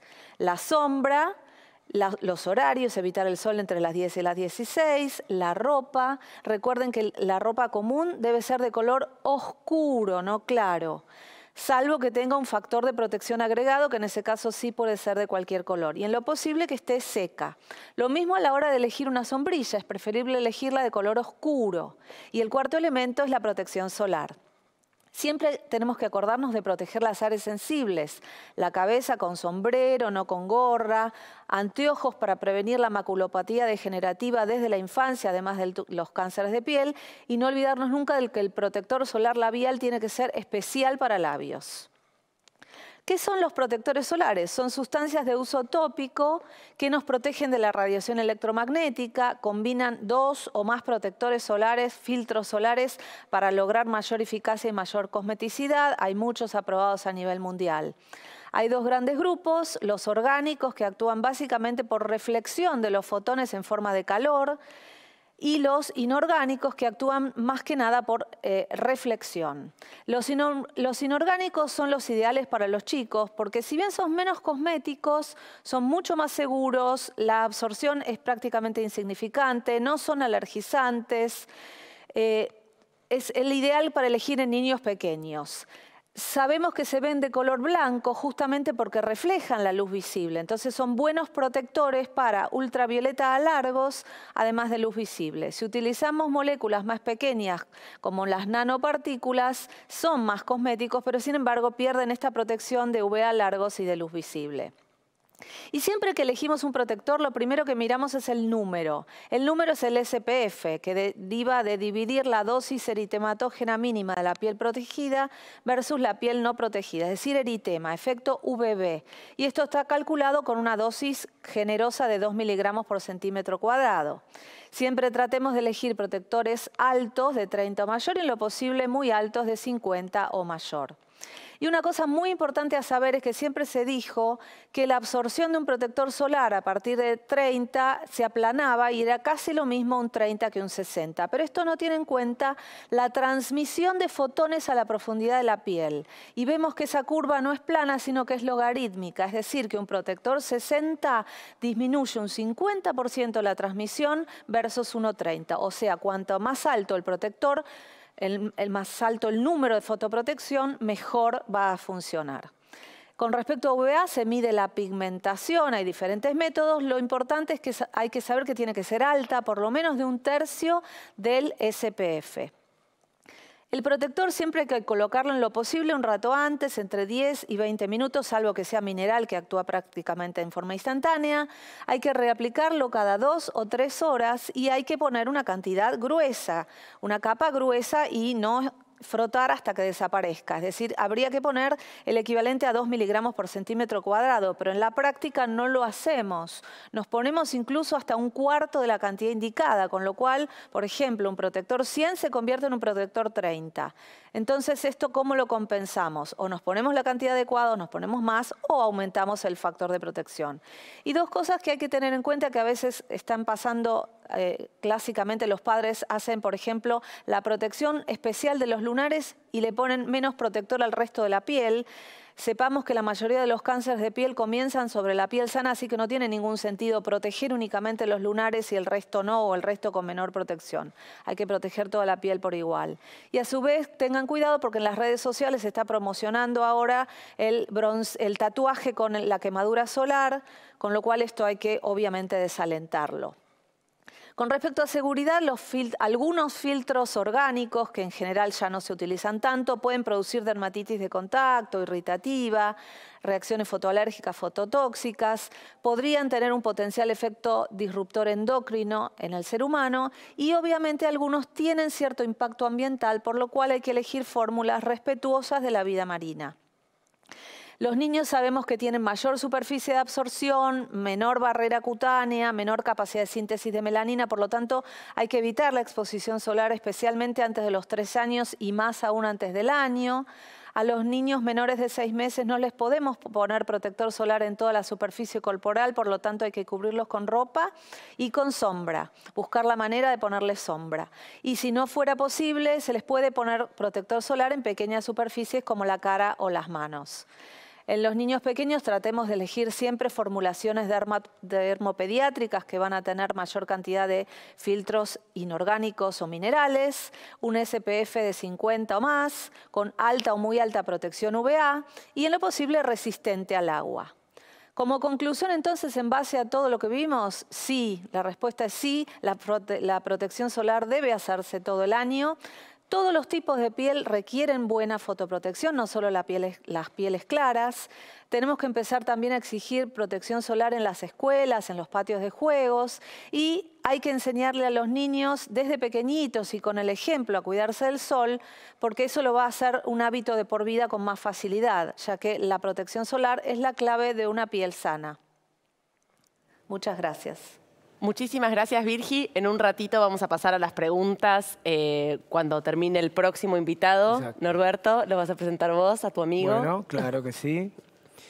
Bueno, es, un, gusto y un honor poder presentar al doctor Pablo Lapuncina, a quien aprecio mucho y conozco desde el año 92 en la residencia del Hospital de Niños Ricardo Gutiérrez, quien ha dejado una impronta en todo lo que fue mi carrera como, como pediatra. El doctor Pablo Lapuncina es médico pediatra especialista en genética molecular y medicina embriofetal. Actualmente es coordinador del Instituto de Genética Médica y Molecular del Hospital Universitario de La Paz y además es el director científico del CiberER. Bueno, eh, Pablo nos va a hablar del síndrome inflamatorio multisistémico y Pablo, te dejo eh, tu presentación. Como siempre, un gusto volver a verte. Muchas gracias Norberto por tan amable presentación. Y bueno, vamos a pasar a, las diapositivas. Voy a comentar en, este, estos breves minutos eh, acerca del síndrome inflamatorio multisistémico pediátrico. Como probablemente todos ustedes saben, esta definición la ha hecho el CDC, el Centro de Control de Enfermedades, hace escaso un año, el 14 de mayo del 2020, y la ha definido como una enfermedad asociada con la infección por COVID-19, es decir, una, eh, un síndrome multisistémico, inflamatorio y pediátrico asociado forzosamente con la infección por COVID-19. Las características que tiene esta patología es que presenta más de un fenotipo, quiere decir más de una característica clínica o más de un cuadro clínico que, eh, como forma de presentación. Puede eh, aparecer como un estado inflamatorio febril inespecífico, puede aparecer como una enfermedad parecida o símil al Kawasaki, porque tanto en el síndrome inflamatorio multisistémico como en la enfermedad de Kawasaki se cumplen los criterios, hay mucho solapamiento, mucho overlapping entre las dos enfermedades, o puede presentarse como una enfermedad grave que requiere cuidados intensivos con un shock, sobre todo un shock eh, multisistémico, un shock séptico.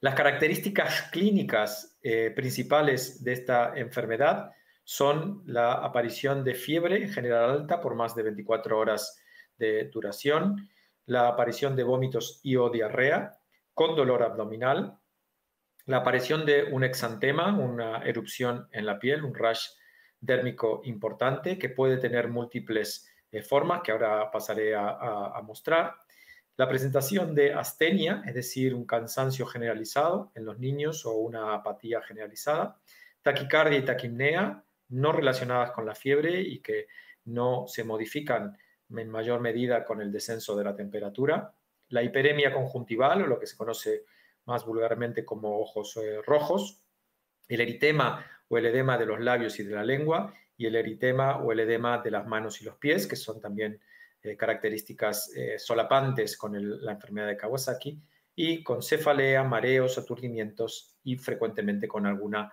adenomegalia, con algún ganglio incrementado de tamaño. ¿Cuáles son las características en la piel de las personas eh, con infección por COVID-19? Como ven en esta diapositiva, entre el 0,2 y el 20% de los pacientes con infección por COVID-19 o con características de infección tienen alguna eh, eh, afección en la piel.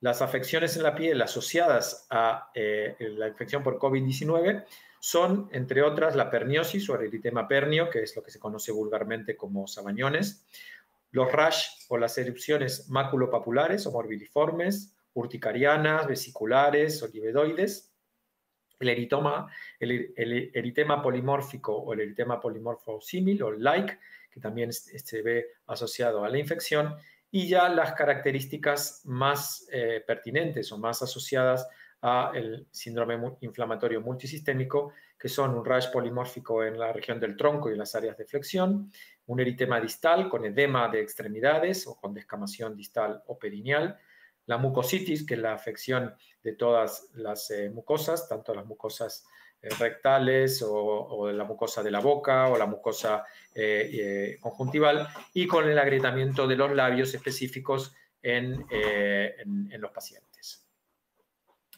Las características específicas en la piel, como veis en, estas, en estos pacientes, pueden ser desde eritemas eh, polimórficos, eritemas eh, maculopapulares, eritemas morbiliformes y algunos de ellos que mejoran o que van, em, em, se van mejorando con emolientes eh, térmicos. Las otras características en la piel son los edemas de manos con hiperemia y con eritema palmar, que es una entidad bastante infrecuente en, pediatría, y los eh, agrandamientos o los eritemas pernios y los eh, edemas en zonas eh, distales. Todas estas son características específicas en la piel de la infección por COVID-19. Voy a comentar brevemente, que es mi área de, de, trabajo y de conocimiento, cuáles son las alteraciones genéticas en COVID-19.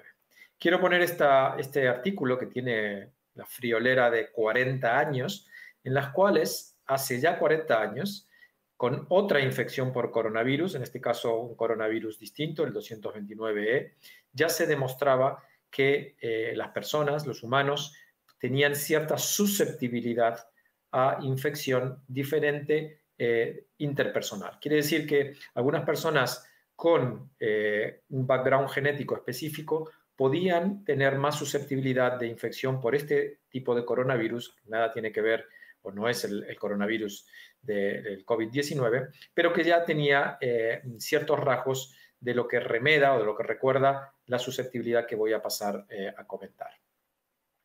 ¿Qué es lo que se ha visto en pacientes infectados por COVID-19? Y que voy a, comentar muy brevemente porque está en fase de publicación y tenemos una cierta protección de embargo de la revista en la que va a salir eh, publicado. Lo que hemos visto estudiando más de 25.000 pacientes con infecciones por COVID-19, de los cuales más de 20.000 son eh, pacientes de background europeo y unos 5.000 son pacientes con background eh, americano o indoamericano o amerindio, es que los pacientes graves tienen marcadores genéticos asociados a regiones cromosómicas específicas de nuestro genoma. Específicamente, los que ya estaban eh, conocidos en el cromosoma 3, en el 21, pero también en algunos otros cromosomas. Dicho de otra forma, los pacientes con COVID-19 se infectan, pero pueden tener mayor o menor gravedad en función de nuestra información genética. Existe una susceptibilidad específica a la gravedad y a la necesidad de cuidados intensivos y probablemente el riesgo de muerte con nuestra información genética específica. Y esto es bastante importante de tener en cuenta porque para muchísimas enfermedades infectocontagiosas la susceptibilidad juega un rol muy importante en gravedad o en letalidad.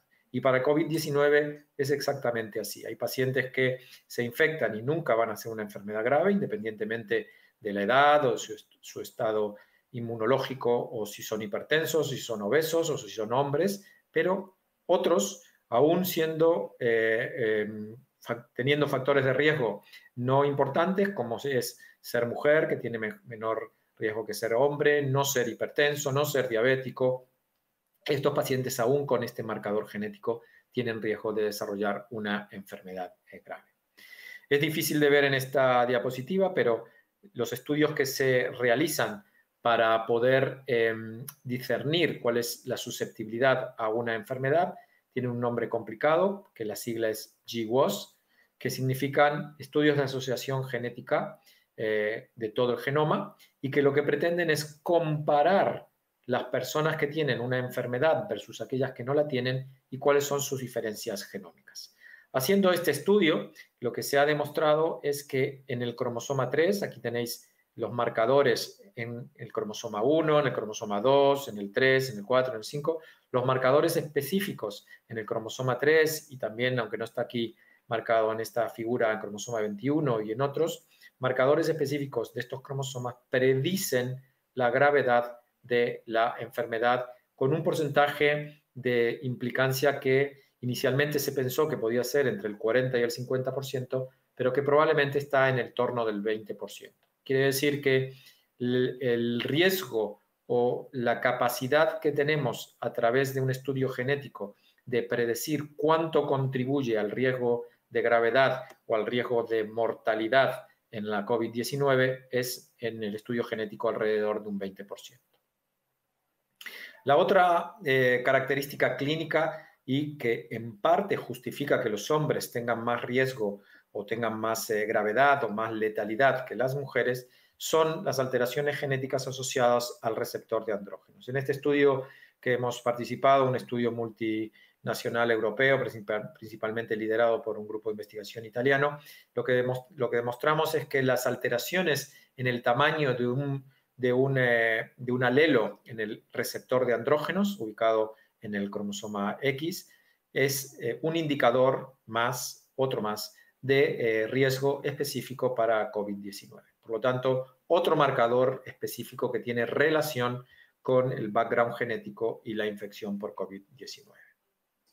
Por lo tanto, en forma global o en forma eh, genérica, las alteraciones genéticas que, que se ven o que se pueden demostrar en personas infectadas por COVID-19 se pueden estudiar haciendo lo que se conoce como un estudio de genoma completo. Nosotros hemos hecho eh, este estudio de genoma completo, como he comentado, en más de 20 y pico de mil pacientes y estos pacientes pueden eh, informarnos, o estos estudios pueden informarnos cuáles pacientes pueden tener mayor o menor gravedad.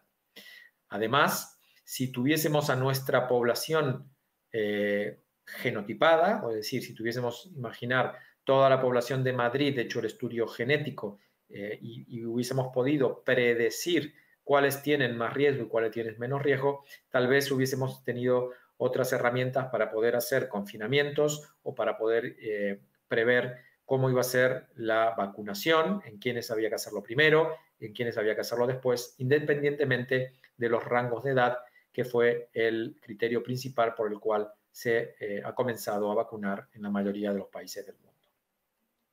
También hemos visto que específicamente para el síndrome inflamatorio multisistémico pediátrico, en pacientes en los cuales hemos hecho un estudio genómico completo, existen alteraciones en la vía de varias genes y varias proteínas de la respuesta inflamatoria, pero que no son homogéneos. Quiere decir, no es un único gen en el que todos los pacientes tienen eh, alteración, sino son muchos genes, todos que participan en la misma vía, que están alterados y contribuyen a la susceptibilidad del síndrome inflamatorio multisistémico y que son, que son eh, otras eh, causas de susceptibilidad específica a poder realizar esta, esta enfermedad. Similar a lo que ocurre con la enfermedad de Kawasaki, en el cual múltiples marcadores genéticos contribuyen a la fisiopatología de la enfermedad. En conclusión y como resumen, existen eh, lesiones em, casi patognomónicas, lesiones dérmicas, que son casi patognomónicas del MIS-C, del síndrome inflamatorio multisistémico. Existe un genotipo claro que predice gravedad en infección de COVID-19, independientemente de que haya o no lesiones en la piel, independientemente de la edad, e independientemente del sexo, sobre todo en el cromosoma 3, como comenté, en el cromosoma 21, que pueden eh, predecir estas gravedades o estas eh, letalidades. Y como conclusión final, hay alteraciones eh, genómicas en pacientes con MIS-C que no son, como comenté, homogéneas, que no son siempre en el mismo gen, pero que alteran las rutas de la inmunidad y alteran la inflamación y que pueden ser muy útiles a la hora de poder predecir qué pacientes van a necesitar o no terapia o qué pacientes van a eh, tener una, evolución mucho más tórpida, mucho más grave que, otros. Quisiera con todo esto agradecer a la financiación y a los que nos han permitido poder hacer estos estudios, sobre todo al proyecto que nos han otorgado el Instituto Salud Carlos III, que es la Agencia Española de Investigación Sanitaria, en el cual nos han permitido eh, poder hacer este estudio completo, como digo, en más de 25.000 pacientes con infección COVID y que esperemos poder compartir con todos ustedes pronto en una publicación que está en fase ya casi final. Muchísimas gracias por eh, la atención y nos vemos en nada, en breve con las preguntas, si existen preguntas que estaré encantado de poder eh, contestar. Muchas gracias de. Muchísimas gracias, eh, doctor Lapuncina. La verdad, un honor haberlo tenido entre nosotros eh, y muchísimas gracias por haber llevado a cabo estas investigaciones que, están tan en boga, además, con, tanto COVID que, nos atravesó durante este tiempo. Ya estamos acá para las preguntas con, nuestros, con el resto de nuestros invitados. ¿Querés empezar, Norberto? Tenemos una, pregunta eh, para Pablo eh, en relación a, los genes que se identificaron. Y si realmente estos genes que se pudieron identificar como predictores de gravedad pueden identificarse mejor en diferentes poblaciones del mundo, es decir, los latinos tienen más genes eh, o no en relación a los sajones, en fin, un poco establecer alguna tendencia en el perfil de riesgo de complicaciones de esta patología. Esa es un poco la pregunta muchísimas gracias, eh, Norberto, de nuevo por la introducción y, también agradecer al esfuerzo que, ha hecho La Roche por, por esta, este Zoom. Eh, la pregunta es, sí, es muy concreta y hay una respuesta bastante concreta. Específicamente lo que hemos visto es que eh, las personas con background europeo, es decir, con determinantes genómicos europeos, eh, tienen esta región del cromosoma 3, sobre todo, que eh, confiere riesgo. Sin embargo, el background amerindio, el, background de los, digamos, los, los eh, habitantes o los primeros habitantes específicos de, de, América, no hemos encontrado este hallazgo aún. hemos estudiado alrededor de 3.000, 4.000 pacientes con COVID positivo de países latinoamericanos cuando digo países latinoamericanos, digo que además de ser de países latinoamericanos, su background genético era de, eh, de estirpe amerindia. No hemos encontrado esta relación con el cromosoma 3. Es probable que, mm, haya otras regiones. La cantidad de muestras para hacer un estudio genético, eh, aunque parezcan muchas, 4.000, 5.000, para hacer un estudio genético de asociación, no es tan importante eh, vamos a ampliar la muestra, estamos ampliando la muestra con, más eh, personas, pero yo creo que eh, todo indica o todo parece indicar que puede que esta, esta, esta, esta, población amerindia no mantenga la misma región de asociación que, la población europea. Muchísimas gracias. Y hay otra pregunta, que en realidad son dos preguntas en una, y una se refiere a si la expresión fenotípica de estos genes es igual en los niños y en los adultos, eh, o habría alguna diferencia en la expresión. Eh, y la segunda, ya hago las dos juntas, si son específicos para susceptibilidad de enfermedad grave en COVID o también podrían tener implicancia en otras enfermedades infecciosas. Bueno, concretamente lo que hemos eh, visto para el, el MIS-C y que también está, publicado para COVID en general es que hay genes de la inmunidad general, de receptores de interferón o el TLR4, algunos genes que ya son relativamente conocidos eh, específicamente asociados a riesgo. Pero como, como decía en la presentación, no es un riesgo que esté asociado a un gen en particular, sino a varios genes todos en la vía de la inflamación y la inmunidad. Nosotros no hemos hecho estudios de expresión de, los genes, lo que hemos hecho son estudios de asociación y estudios de eh, genotipado. Es decir, dicho rápidamente, hemos estudiado el ADN y no hemos estudiado ni eh, el ARN ni las proteínas en estos pacientes. Hay estudios en curso, de, no de nuestro grupo, pero sí de, varios eh, grupos en España, que están eh, realizando estos estudios subsidiarios.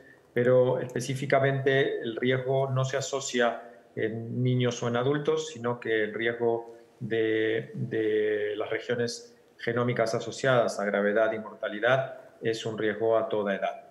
Lo que ocurre es que, como es natural, los niños tienen otros factores de riesgo menores asociados y se, digamos que protegen, porque no quisiera que se entendiese que el riesgo genético es la única causa de gravedad. Por supuesto, esto es una sumatoria dentro de una ecuación donde el riesgo genético suma, pero suman absolutamente todos los otros factores conocidos, como son eh, la edad, el sexo, el estado inmunitario, la obesidad, la hipertensión, etc. Por lo tanto, no hay riesgos específicos o diferencias específicas en edades. Eh, a toda edad existe el riesgo genético. Lo que no suman o dejan de sumar son el resto de los, de los factores. Perfecto. Bueno, eh, vale, podemos pasar entonces a algo un poco más relajado, que son algunas preguntas que nos fueron llegando respecto, respecto del acné. Y una muy interesante que, llegó, al, que llegó al chat es, em, debido a, la, que a veces está medio dilatado el tiempo de, acceder al, al dermatólogo, ¿qué deberían ir haciendo los pediatras cuando ya derivaron al dermatólogo? Si hay algún producto, si hay alguna recomendación que deberían darle a los pacientes para que llegaran a nosotros con los primeros pasos dados. Sí, bueno, es muy interesante la pregunta. La verdad que, como dije, los pediatras eh, son grandes aliados, nosotros los dermatólogos. Cuando el paciente con acné consulta, lo primero que hay que hacer es indicarle productos adecuados de higiene de la piel, que eso ya nos va a ayudar muchísimo. ¿sí? Productos para piel acnéica, que tengan un pH adecuado, un pH ácido, como es el pH de la piel que eh, no realicen, eh, como ya les mostré en la presentación, eh, higienes excesivas que irriten la piel y que después esos pacientes no puedan tolerar los tratamientos que nosotros les indicamos. Indicarles también un emoliente, un emoliente adecuado para piel acnéica, que también, digamos, sea oil free y que se lo pueda colocar sin ningún problema. Y también la fotoprotección, que hoy también habló la doctora Virginia, es muy importante en los pacientes con acné y tener en cuenta que los fotoprotectores para usar en el acné tienen que tener eh, características específicas, como también ser oil free, y algunos que tienen el efecto ese matificante que hace que los pacientes adolescentes los toleren mejor y eh, no le quede la cara brillosa y eso hace que los pacientes no lo quieran utilizar. Entonces es muy importante tener en cuenta las, las características cosméticas de los productos que vamos a utilizar y que no le generen más lesiones de acné. Ya con eso nos ayudan un montón porque vienen al dermatólogo y nosotros lo único que tenemos que hacer es indicarle el tratamiento. Bueno, y acá llega otra, otra pregunta para mm, vos, ¿eh? en relación a, los alertas que tomaste en la presentación. Eh, entonces, la pregunta dice, ¿cuáles serían los alertas que debemos tener los pediatras respecto a las recomendaciones que se dan en redes sociales para tratar el acné? Eh, y cuando hablamos de esto estamos hablando de Instagramers, influencers, y cuáles son los sustentos de recomendación no convencionales que estás viendo como si fuera una alerta para no caer en esos lugares, sobre todo cuando los jóvenes eh, eh, reciben esta información y ya vienen por el pedido de avanzar en este tipo de terapias. Sí, muchos eh, incluso no solamente avanzan en estas terapias, sino que las, las realizan en forma como si fuera eh, religioso, lo que les indican los influencers. Hay que tener en cuenta que hoy estamos ante eventos de intrusismo médico muy importantes, donde eh, cualquiera puede recomendar cualquier tratamiento por las redes sociales y eso es realmente muy peligroso. Por lo cual debemos decirle a los, a los adolescentes que sigan páginas que tengan eh, evidencia científica, como son las sociedades de pediatría o la Sociedad Argentina de Dermatología o en los Instagram de los eh, hospitales importantes. Por ejemplo, nosotros tenemos el dermatología.hospital italiano, donde hay podcast, donde hay vivos sobre acné, donde hay un montón de información, como lo deben tener muchos otros hospitales. Entonces, eh, indicarles que sigan eh, a especialistas, a dermatólogos, que tengan realmente la capacidad como para poder darles recomendaciones que tengan una robustez científica. Así que esa sería la recomendación. A veces ellos siguen estos influencers que les indican estas skincare routine de como 10 pasos y eso no solamente empeora el acné, sino que genera dermatitis de contacto y bueno, además que es un gasto de tiempo y de dinero para esas familias que realmente eh, podrían resolver el problema con muchos menos recursos. Diego, vos tenías una pregunta, ¿no?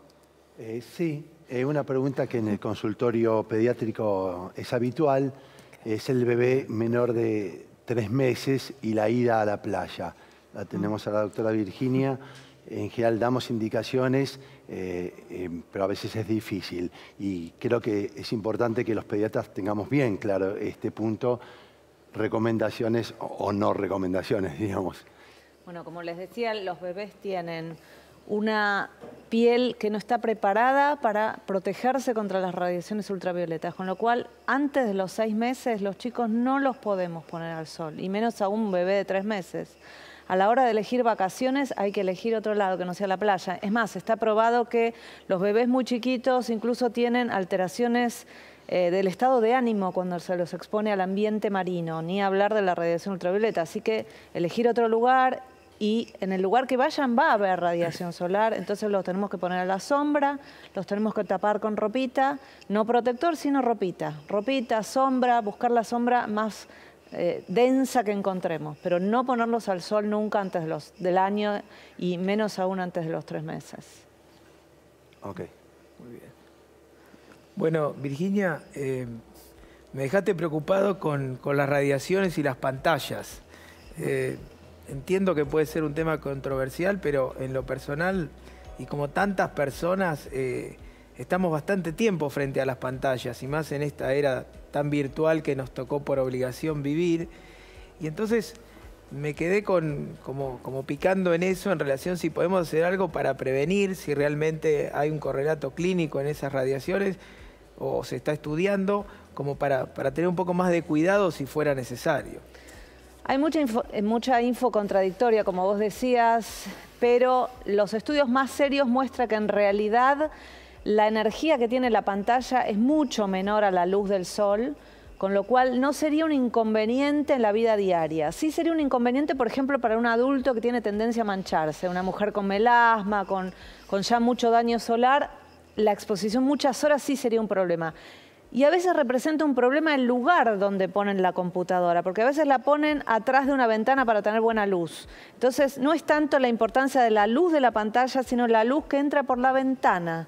¿eh? Porque estamos recibiendo luz visible, estamos recibiendo VA, y esa luz es mucho más importante que la baja energía que tiene una pantalla. En la población general no indicamos fotoprotección para estar frente a la computadora. Sí para las personas con manchas, con predisposición a mancharse pero sí insistimos en que la luz que emite la computadora sí produce muchas alteraciones del ritmo circadiano, del, sueño, está visto que aumenta la predisposición a la diabetes, a la obesidad, a las adicciones alimentarias, produce mucha alteración neurológica. Y se recomienda que en las cuatro horas previas al sueño no nos expongamos a luz azul lo cual es difícil, la luz brillante de las pantallas y los dispositivos es difícil no exponerse, pero si no hay métodos para exponernos un poco menos. Hay cambios que se le pueden hacer, de hecho yo probé con mi celular, depende del dispositivo que uno tenga, se le puede poner modo nocturno o modo protección ocular, y si no se le puede colocar un tinte amarillento a las lentes que uno use para exponerse en las últimas horas de la noche. No tanto por el problema de piel, sino por el problema que vamos a tener después para conciliar el sueño y otras cosas de salud. Bueno, excelente. La verdad que me parece que, fue muy lindo. Por lo menos me quedo más tranquilo. que no tenés que ponerte protector para, estar, para estar tantas horas frente a la pantalla. Bueno, Vamos a invitar entonces a Ana a cerrar este summit que creo que realmente eh, fue eh, de excelencia. Esperamos a todos que les haya gustado. Anita. Sí, bueno, muchísimas gracias a todos por conectarse. Gracias a ustedes por haber aceptado direccionar este summit, a los coordinadores y a los grandes speakers que nos están acompañando eh, toda la mañana de hoy. De verdad que ya nos dimos cuenta que fue un éxito y esperamos que lo hayan aprovechado. Muchas gracias y que tengan feliz fin de semana.